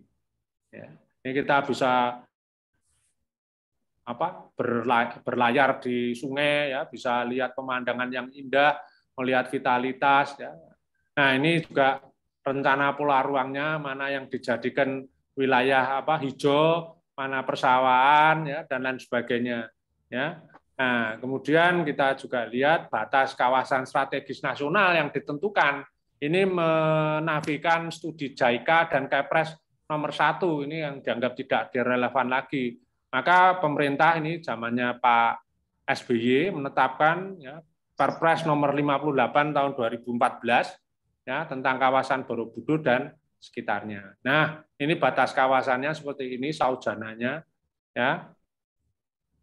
Nah, kemudian ini pola ruangnya. Nah, ini perbandingannya. Kalau dulu ada beberapa wilayah, nah sekarang di KSN Borobudur yang juga jadi kawasan strategis nasional dipercepat itu ya ini ini sebenarnya asalnya dari sini nih ya. Ini sekarang jadi satu ya. Kemudian ini konsep hijaunya mana yang jadi plantation mana yang jadi uh, settlement ya mana yang jadi tempat sawah ya, dan lain sebagainya nah kita juga harus sadar bahwa pemangku kepentingannya itu bukan pemerintah saja ya pemerintah pusat maksudnya. Ini mestinya ada pemerintah daerah, ada demisi, ada orang yang hidup di sekitar itu. Nah, bagaimana mengelola Borobudur di masa depan? Ya, kalau kita lihat kan apa kita harus turunkan untuk kebijakan, strategi, kemudian ya yang terakhir program. Ya kalau di teori organisasi atau di manajemen strategik itu kan kira-kira begitu, kebijakan, strategi dan program. Ya bapak dan ibu kalau belum anu eh, apa belum uh, pernah melihat ini ya bisa buka bukunya Nagel atau bukanya buka bukunya Minsberg ya nah pokok manajemen Bardun itu yang penting itu satu itu mengelola sumber daya kebudayaan itu spiritnya mesti melestarikan konservasi ya konservasi itu sebagian dipreservasi sebagian lagi bisa dikembangkan ya dimanfaatkan jadi pelestarian itu kan ada Ya, ada tiga, tiga tahapan gitu. Dua yang terakhir itu ya pengembangan dan pemanfaatan. Kemudian akses, pengelolaan akses. Ya. Ini mengeliminasi pemanfaatan sumber daya kebudayaan yang berlebihan supaya tidak misuse dan abuse. Ya, ini perlu dikendalikan ya, supaya tadi tidak tidak ngawur tadi ya. 55 ribu yang datang. Tiketnya memang banyak untuk PT-nya itu, tetapi Eh, kerugiannya untuk eh, seluruh stakeholders banyak ya sampahnya ya termasuk eh, kerusakan candinya ya, dan juga manajemen organisasi. Nah di situ prinsip-prinsip ini perlu dipegang bahwa uh, uang itu penting untuk, untuk kehidupan tapi bukan segala-galanya gitu. Jadi kalau kita tempatkan di Borobudur ya revenue earning is important but profit is not a primary or appropriate motif gitu ya, bukan motif utama dari duit itu dari sana. Motif utamanya itu pelestarian. Ya, sehingga ini dikatakan oleh Engelhardt itu uh, dulu itu urusannya monumen ya, situs material itu dianggap kosong. Ya, manajemen administrasi pusat dan untuk rekreasi. Ini sebenarnya sudah harus digeser ya. Ini tempat ruang manusia biasa saja ya. Hidup bermasyarakat, ada tradisi, ada praktek kehidupan, ya. Ada ya pembangunan maksudnya dan juga sebenarnya untuk untuk ke depan kita harus melihat ya bahwa di perguruan tinggi ya terutama itu selalu yang ditanam adalah pohon bodi bukan pohon beringin ya. Seperti di Universitas Gajah Mada itu sebelah utara eh, kampus ya KPTU ya kantor apa pusat itu yang ditanam pohon bodi karena itu pohon pencerahan namanya Ficus religiosa bukan Ficus benjamina ya. Ficus benjamina itu pohon beringin yang terkenal hanya pengayom gitu. Nah, ini yang enlighten gitu. Jadi kita harus melihat bahwa ini cultural landscape ini harus satu gitu, tidak di kotak-kotak menjadi beberapa bagian seperti studi JICA dan Perpres satu nomor uh, Perpres nomor 1 tahun 92 itu. Ya. Nah, meminjam Minsberg dan Queen mungkin model pengelolaannya bisa jadi seperti ini, starburst, ya ledakan bintang, ya atau dengan cara yang lain misalnya pakai spider web misalnya. Ya, ini ini ini uh, bentuk organisasinya seperti itu. Bisa badan pengelola pusat kompetensi. Nah, ini punya unit-unit pariwisata investasi dan lain sebagainya. Nah ini harusnya menghidupi bukan menghidupi PT-nya yang ada di situ tapi menghidupi seluruh eh, masyarakat yang ada di dalam saujana itu ya. Trickle down efeknya ini yang yang tidak pernah di apa dipikirkan itu ya jadi pastikan bahwa kuota itu selalu ada ya. Bukan 1.200 tapi 391 400 lah paling banyak ya. Orientasinya juga harus pada pariwisata berkualitas bukan pariwisata massal lagi. Nggak perlu orang berduyun-duyun ya. Perlu storynomics ya. Berikan edukasi yang cukup untuk pengunjung ya pengelolaannya harus terpadu dan sebarkan wisatawan itu pada buffer zone tidak tidak harus selalu menyentuh candi Borobudur dan naik ke Borobudur gitu. Ya mungkin ya pakai FIFO lah. Orang akuntansi ini pakai FIFO ya first in first out gitu.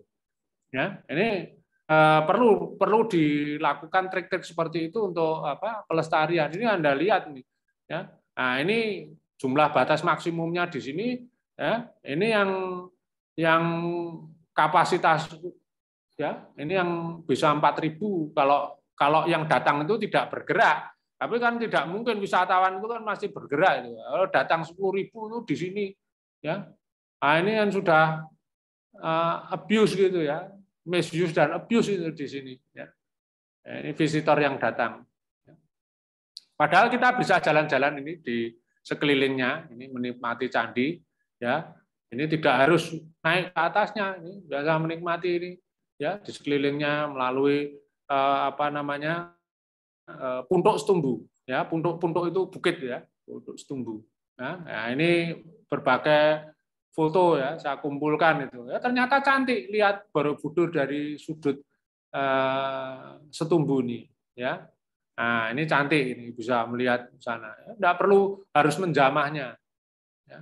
Kemudian kita ke Majak Singi ya daerah Majak Singi desa di sebelah barat Borobudur itu naik di Gunung Menoreh ya di sini ada Manjiwo ya udah lama jiwo dan ini ya menarik ini sebenarnya. Sekarang mulai dikembangkan ya. Ini tampak Borobudurnya dari Majak sini kita bisa melihat ya Borobudur eh, dari Aman Jiwo ya mungkin mau rest and relax di sana ya mungkin Prof Joy mungkin kapan-kapan diajak ke sini ya oleh FEB UKSW nah, sayang tarifnya ini juga agak mahal gitu ya untuk untuk kalangan kita tapi ya menarik ya menikmati menikmati uh, Borobudur dari sisi yang lain gitu.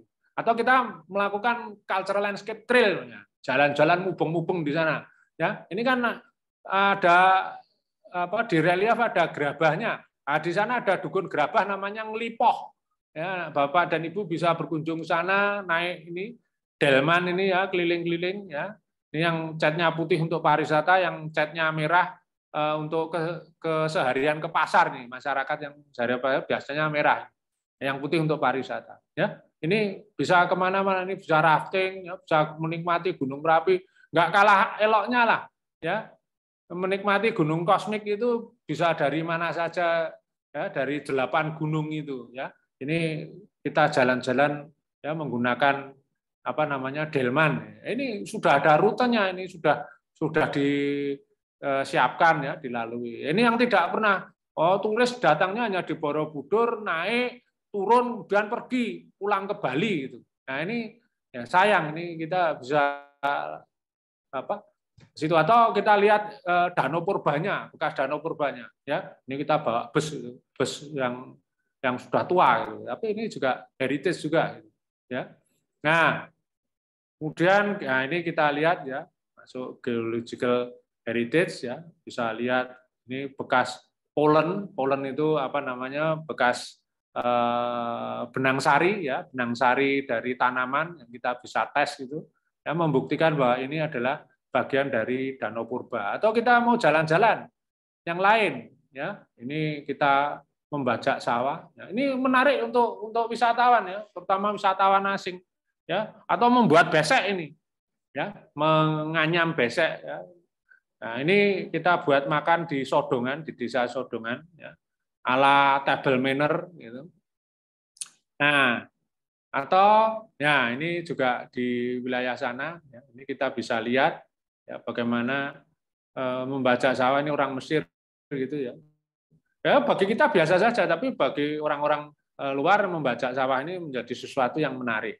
Ya, ini kekayaan yang ada di Borobudur yang harus dimanfaatkan. Ya, bagaimana orang manajemen harus bisa mengelola itu. Ya. Atau kita menjalankan field school. Ya, ini kita sekarang sudah berapa kali ya? Sudah 12 kali mungkin ya kerjasama dengan Jepang, UGM, kemudian juga dengan Korea, ya. bahkan kemarin juga dengan apa ya, dengan apa eh, universitas-universitas lain di Eropa gitu ya. Ya, ini eh, ini bagaimana mengkonservasi ya, Borobudur. Ya. Kita lihat itu festival lima gunung, lima gunung. Ya, empat yang di sekelilingnya, yang satu itu gunung kosmik. Ya, Menoreh, Sindoro, ya, kemudian Merbabu, ya, Merapi, dan ya, gunung kosmiknya adalah Borobudur. Ini hanya di pelataran eh, desa saja ini dan ini menarik, ya. Ini menarik ya, karena tidak punya baju, ya dia menggunakan baju dari daun. Ya, ini daun pisang yang digunakan ini. Ya, eh, menarik ini. Ya. Pemanfaatan sumber daya lokal. Ya. Bagaimana ini Eh, memperlihatkan cara meng, apa, menggoreng apa rempeyek dan beberapa apa makanan tradisional lain ini bagi orang bule juga menarik ini excited gitu ya nah, ini juga pengembangannya di Candi Rejo ya. jangan lupa makan mangut beong ya di sana ini makanan khas di sana mungkin sop senerek juga nasi lesah ini nasinya ada apa namanya kuahnya yang eh, kayak santan gitu ya, ada nasi godok. Ya. Ini menarik, menarik untuk untuk eh, gastronominya ya, bukan hanya kuliner, ya. bukan hanya sekedar apa eh, dapur ke dapur saja. Kalau gastronomi itu kan sampai cara menyajikannya ya dan lain sebagainya gitu. Ya. Nah mungkin mungkin ya ini kalau mau memasarkan Borobudur modelnya ya seperti ini mungkin mungkin ya karena tekniknya mungkin ada yang baru yang lebih canggih gitu ya. Ya hanya sebagai contoh saja kita buat eco resort gitu. Ini untuk mempertahankan permintaan utama ya kita menawarkan produk yang eksotik dan unik gitu. Ya, tidak tidak harus naik ke ke Borobudurnya ya. Kita bisa tawarkan eco resort, eco lodge misalkan ya dengan eco budaya dan homestay-nya. Nah, mungkin permintaan selektif ini untuk mempertahankan pelanggan yang lama supaya orang melakukan ribai gitu ya pembelian ulang. Ini menampilkan keunikan kerjasama dengan situs yang lain. Ya tidak hanya ke Borobudur mungkin keliling-keliling di sekitarnya yang ada Gunung Wukir dan dan lainnya ya termasuk meningkatkan kualitas produknya. Ya ini juga dengan integrated marketing communication ini perlu karena sekarang ya harus menggunakan banyak cara. Tapi tidak tidak berlebihan semuanya menumpuk di area candi itu ya. Jadi nilai terpenting dari Borobudur ini sebenarnya ya ini adalah tempat belajar. Ya, tempat belajar. Jadi dikatakan di sana adalah center of excellence, bukan center of tourism. Jadi kalau orang mengatakan itu adalah center of tourism, menurut saya ya itu kembang-kembangnya saja lah. Tapi sebenarnya di sana yang harus dikembangkan itu adalah center of excellence-nya, tempat pusat belajar. Ya, Borobudur masih menjadi mandala lah. Ya, tadi ada pertanyaan, apakah masih menjadi mandala? Ya, ya hanya orang sering kali tidak ngeh, ya tidak memposisikan dia sebagai apa eh, memiliki konsep mandala ya, yang menguatkan kawasan di sekitarnya. Mestinya Borobudur ini hanya sekarang ini menjadi background saja, matahari lah yang harus bersinar klip-klip itu ya bintang-bintang di sekitarnya saja, ya toh. Jadi kalau Ariel Noah menyanyikan bintang di surga itu ya benar.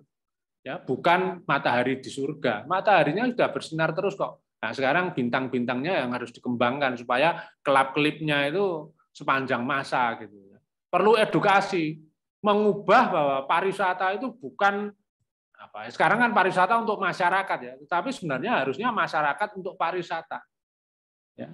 Contohnya ya di Bali itu, ya keseharian masyarakatnya untuk eh, dikonsumsi untuk pariwisata, tapi itu sebenarnya kegiatan kegiatan sehari-hari ya. menyunggi buah, ya, mereka ke pura itu kan kegiatan sehari-hari. Tapi itu menjadi bagian dari pariwisata, bukan bukan copy and paste gitu ya. Pariwisatanya dibawa untuk masyarakat dan melakukan manajemen secara holistik, ya. Ekologi dipikirkan, eko budayanya ya dikuatkan. Nah, ini ekonominya harus memakai doktrin yang ekonomi.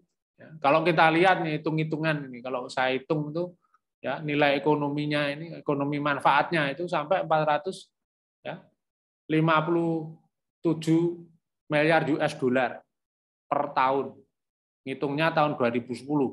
Ya kalau pakai apa namanya future value atau ya ini sekarang mungkin lebih gitu. Ya, kita bandingkan Fast Medina di Maroko aja hanya 38 sampai 70 US dollar ya dan yang lain-lainnya kecil. Oh, Borobudur ini tampak besar.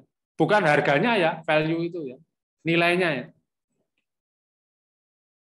Kita perlu belajar ya dari alam, menata diri, mencermati, konsolidasi dan kita harus tahu diri gitu bahwa bisnis Borobudur itu di Borobudur perlu kecermatan dan nalar.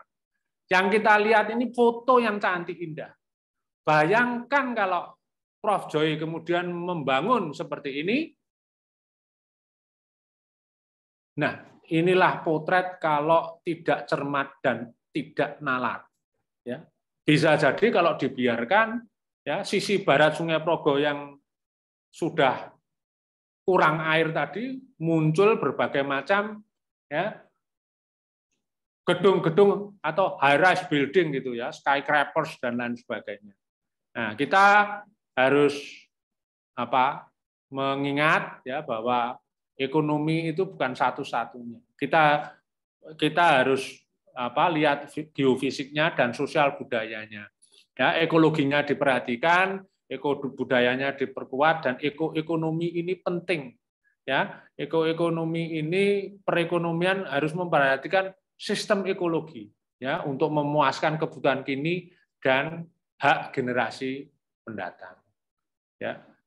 Sampai di sini kira-kira cerita saya. Mohon maaf kalau ada suatu kesalahan karena eh, biasanya bidang manajemen itu dari keuangan, dari manajemen operasional, kemudian dari pemasaran dan sumber daya manusia yang saya ketahui gitu. Tapi kebetulan saya diberi amanah ini ilmu bidang manajemen yang belum tercantum. Jadi mohon maaf kalau terjadi kesalahan apa yang saya uh, sampaikan pada hari ini. Nah, sebelum menutup, saya tampilkan ini profil atau potret wanita berkebaya. Saya kira eh, kalau saya bertanya ke Prof. Joy gitu, apakah wanita cantik ini eh, tampak elok gitu ya, wanita ini tampak elok cantik karena berkebaya gitu. Kalau jawabannya setuju, ya berarti eh, kita semua mengakui bahwa Borobudur itu cantik. Ya, tinggal bagaimana kita mengemaskannya, mengemaskannya. Ya, no save, no one save us but ourselves. Itu ya kira-kira. We ourselves must walk the path. Ini dari Siddhartha Gautama seperti itu. Ya, jadi ya kita harus ambil jalan sendiri untuk mencapai cita-cita. Saya kira itu yang bisa saya sampaikan eh, Ibu Komala. Eh, mungkin nanti kita lanjutkan dengan diskusi. Wah ini sudah banyak yang, yang bertanya. Terima kasih. Terima kasih. Baik, terima kasih eh, Pak Dr. Amiluhur. Teman-teman, Bapak Ibu sekalian, mari kita beri aplaus, nyalakan emotikonnya ya.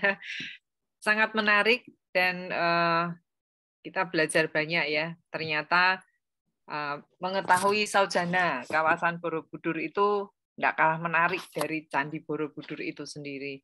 Dan uh, sisi manajemen tadi digambarkan oleh uh, beliau bagaimana manajemen warisan dunia itu dilakukan ya. Tentu kita punya perspektif yang berbeda nih dari sisi tujuannya, kemudian dari sisi aspek-aspek apa yang perlu kita beri prioritas begitu. Nah, ini sudah banyak pertanyaan nih di kolom uh, chat kita. Jadi sementara tadi Pak Dr. Amiluhur menyampaikan materinya, banyak yang ingin tahu lebih dalam begitu. Supaya menghemat waktu, langsung saja kita urutkan dari yang pertama ya. Ini uh, ada Pak Wiwin Suyasa. Nah, pertanyaannya adalah kalau air laut bisa masuk ke kali Progo tadi menuju Borobudur, apakah ada kemungkinan itu juga merupakan kanal atau jalan masuk? Adakah peninggalan interaksi dengan dunia luar via sungai itu? Mungkin bisa langsung dijawab. Ya, Ibu. Pak Wiwin, jadi kanalnya itu selalu ada. Itu ya terletak di perbukitan Menoreh itu. Ya, kalau Bapak nanti lihat dari atas, peta dari atas itu Bukit Menoreh itu tidak menutup tidak menutup ya seluruh pulau Jawa yang bagian selatan. Ini kan eh, sebagian itu kan kalau kita lihat Kars Gunung Kidul. Kars Gunung Kidul itu muncul karena dari apa? dari proses tektonik ya eh, Australia ya mendesak yang bagian utara yang Asia sehingga muncul perbukitan Gunung Kidul itu yang kita sebut dengan sekarang Geopark Gunung Kidul, Kars Gunung Kidul itu. Ya, membentang mulai Pacitan sampai ke Jawa Barat sana. Nah, hanya di Kulon Progo ini terjadi deformasi. Deformasi itu turun. Ya, itu turun ya sehingga kita bisa lihat sekarang digunakan untuk YIA itu bandara itu. Nah, dari bandara itu ke utara terus itu bermeliu-liu itu di sekitar bukit-bukit itu ada jalan, jalan tikus ya airnya bisa masuk sampai ke wilayah Borobudur ini. Nah, dulunya itu air itu masuk ke sana, bahkan sampai tahun 1700 sekian karena Palianagari Yogyakarta itu kan 1755 ya.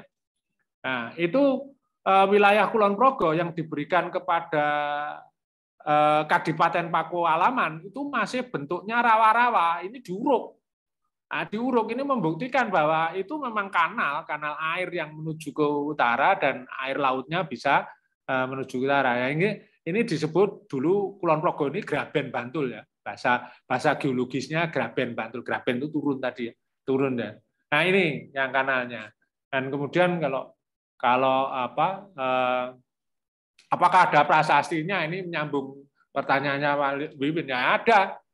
Ada itu Ya, di Canggal juga sudah men, me, menyebutkan seperti itu. Ada beberapa sumber yang lain. Ya, beberapa sumber. Saya tidak tidak begitu hafal hafal itu, ya. Tapi nah, mungkin dalam diskusi-diskusi selanjutnya nanti kita bahas itu bukunya eh, Pak Mundarjito namanya, ya. Itu eh, Profesor Mundarjito itu arkeolog top gitu. Ya, kemudian Pak Sukmono. Ya, itu ada beberapa buku yang yang saya miliki Nah, kalau mungkin butuh nanti kita share bersama, bisa dibaca seluruh seluruhnya.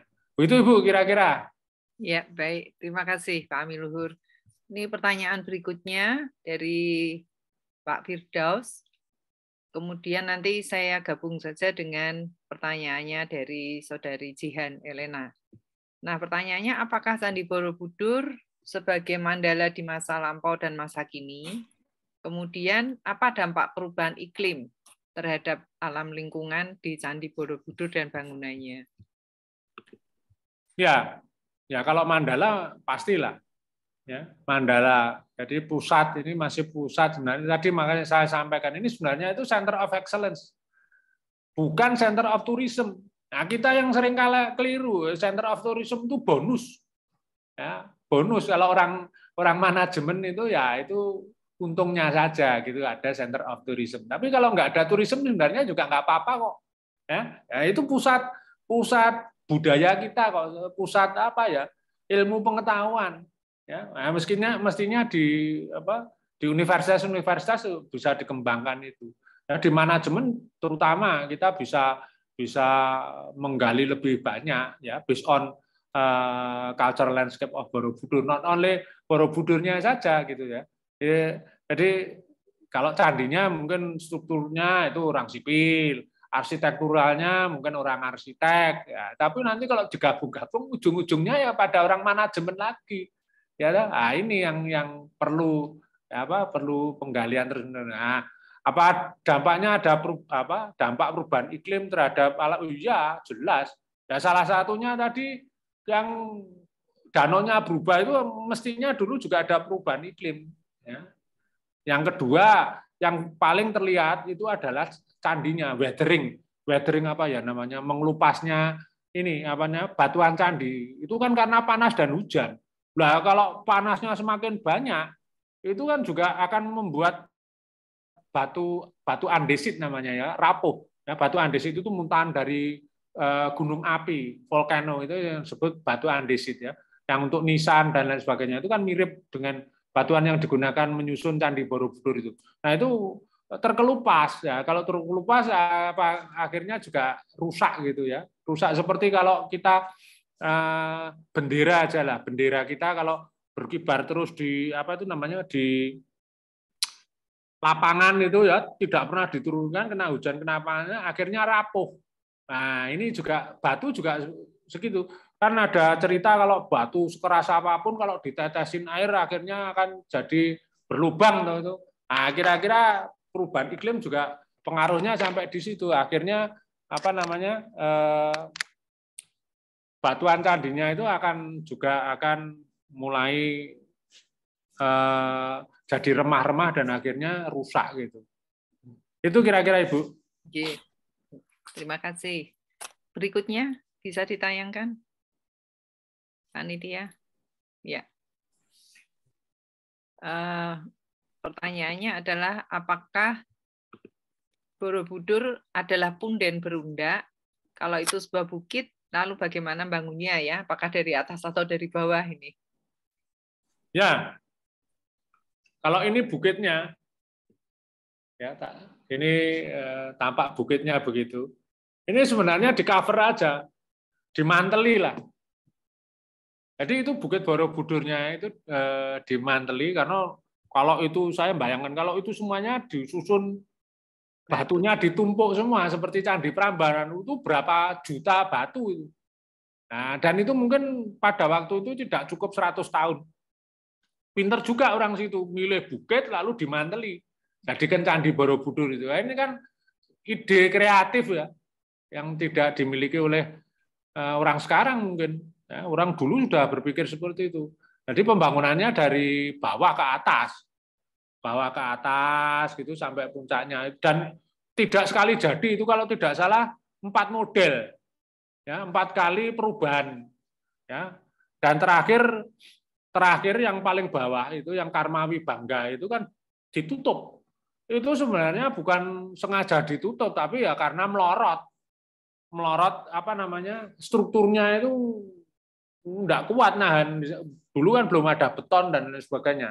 Ya sehingga ditutup, diperkuat begitu. Nah, kelihatannya lalu eh, bahwa cerita Karmawi Bangga, relief Karmawi Bangga yang di bawah struktur candi yang paling bawah itu ditutup padahal enggak itu sebenarnya untuk ngunci supaya eh, kalau itu lepas maka batuan yang di atas semuanya akan melorot semua dan bubar itu.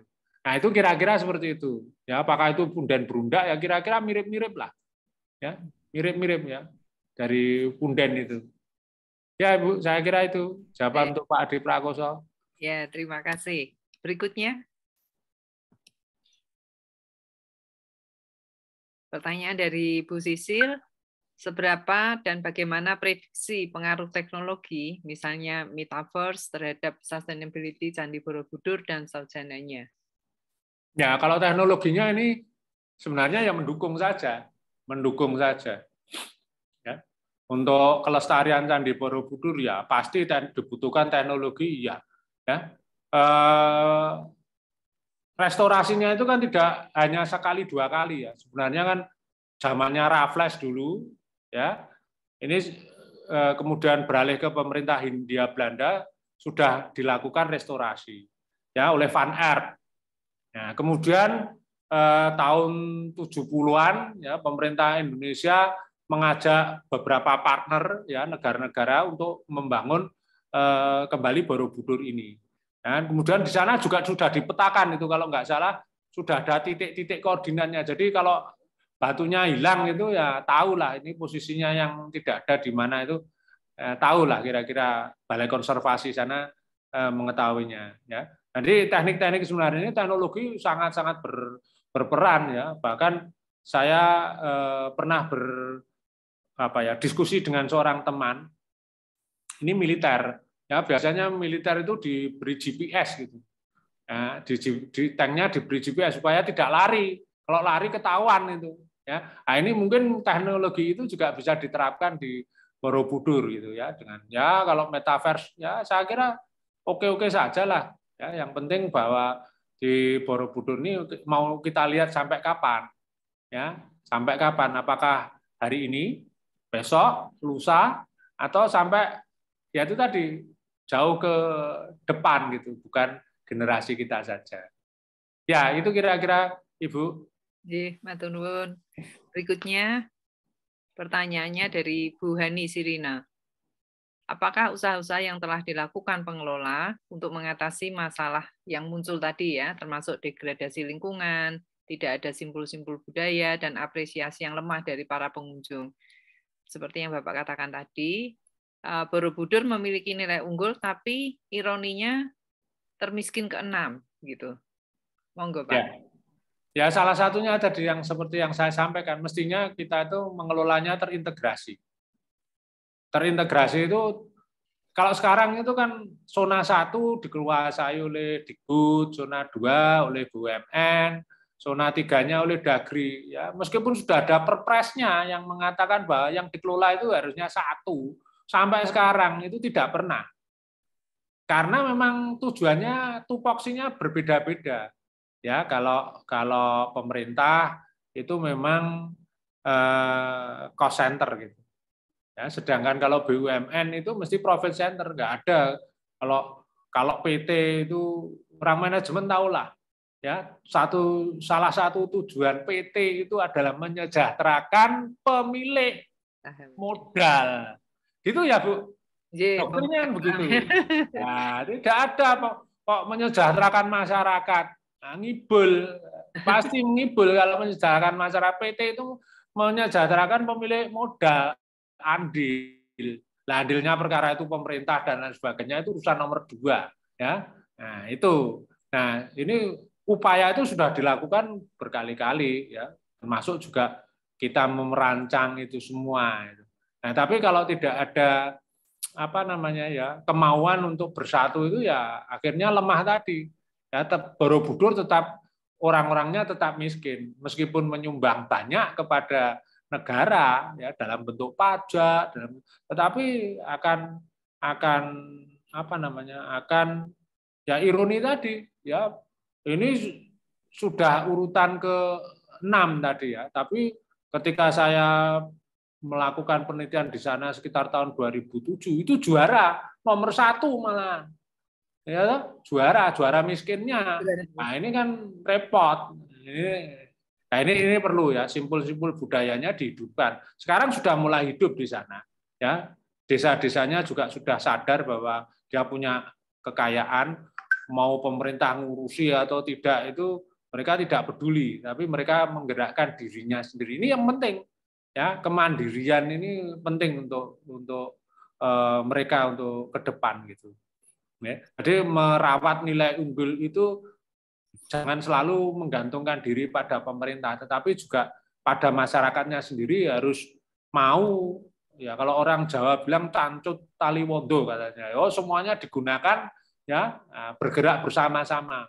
Tanpa itu semua ya nonsens lah. Itu Ibu masih. Ya, ya, terima kasih. Nah, masih ada dua pertanyaan lagi ya. Ini menarik sekali dan kita batasi sampai dua terakhir ini ya karena waktu memang tidak memungkinkan lagi. Nah, sebelum yang terakhir ini pertanyaan Pak Bibin lagi. Nah, sepertinya akar budaya Borobudur sudah tercerabut, perlu holistic view terhadap culture uh, reflourishment atau bahkan culture reinstallment. Bagaimana nih, Pak? Ya, kalau tercerabut oh, pasti Wong dulunya itu based on Buddhis kok. Hmm. Ya toh? Nah, ini setelah setelah ditinggalkan itu ya berkembang lah agama-agama di sana juga kebanyakan adalah uh, Islam gitu ya ini juga kulturnya juga berubah. Ya, kulturnya yang Jawa dulu, yang Jawa kuno yang ada di sana dengan yang sekarang pasti eh, berbeda. Kalau saya rasa kalau reinstallment kok rasanya tidak perlu.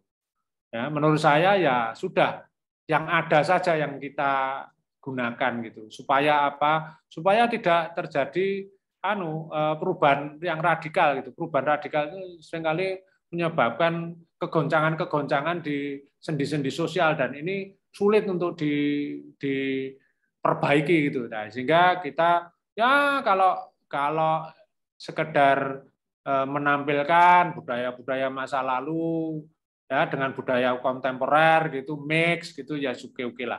Tapi yang penting bahwa inilah seperti kalau kita mengenakan baju.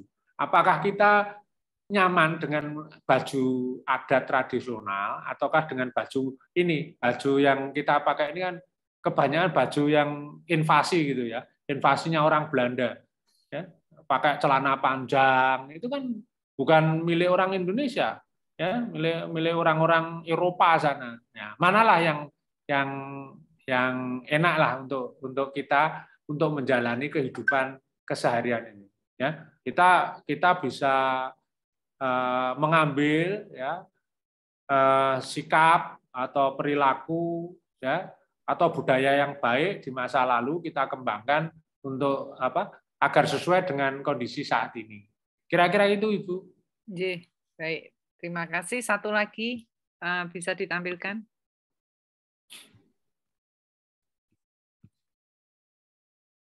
Sudah, rekan panitia masih ada satu pertanyaan terakhir tadi. Saya bacakan saja ya dari Mas Diarto. Bagaimanapun tingkat ekonomi masyarakat sekitar harus meningkat menurut saya.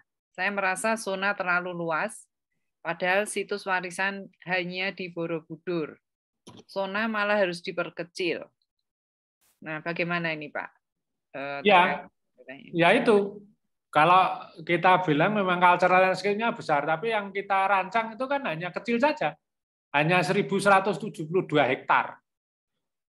Ya, jadi itu memasukkan tiga tiga unsur tadi ya. Borobudur Tempel Kempon tadi, Mendut, Pawon dan Borobudur. Nah, termasuk orang-orang yang hidup di antara ketiga candi itu. Lah kalau ngopeni candi saja masyarakatnya tidak diopeni bagaimana?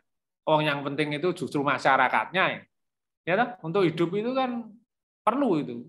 Nah, bahwa di, di dalamnya ada kehidupan pendukung itu pelestarian candi itu ya salah satu konsekuensi karena kita diberi tinggalan ya diberi pusaka itu ya kalau kita ya harus rawat gitu ya tapi memang memang tidak tidak sebesar itu ya kalau kita lihat tadi di slide saya ya di zona 2 itu diserahkan kepada pemerintah lokal ya yang diurusi paling banyak ya hanya yang 1172 hektar itu yang ada di zona satu yang ada di Perpres ya nomor 54 tahun 58 58 tahun 2014. Nanti silakan dibuka di per, Perpresnya itu ya. Nah, nanti itulah yang yang sekarang yang jadi apa namanya? sentral atau pusat pengelolaan ya ya Nah, kemudian yang lain-lainnya ya kita kembangkan eh, pelan-pelan karena kita juga sadar tidak mungkin kita seluruh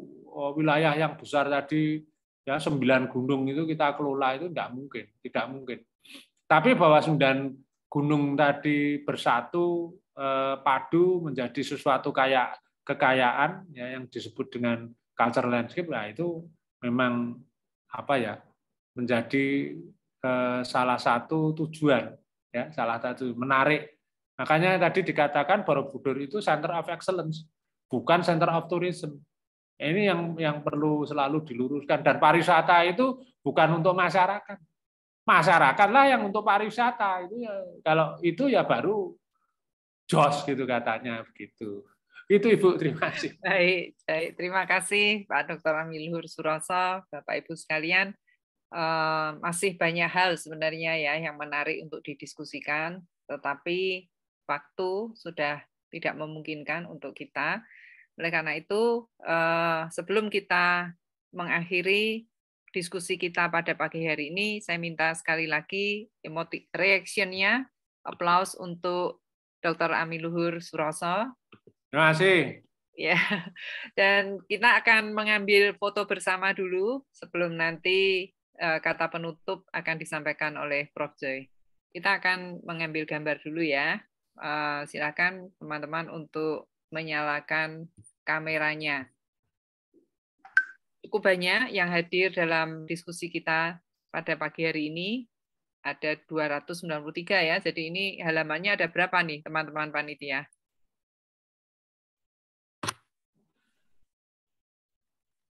Baik, silakan bisa diberi aba-aba teman-teman dari SDTF. Siapa yang akan take? Uh, permisi Bu Komala, uh, saya yang akan memandu untuk proses share screen-nya nanti.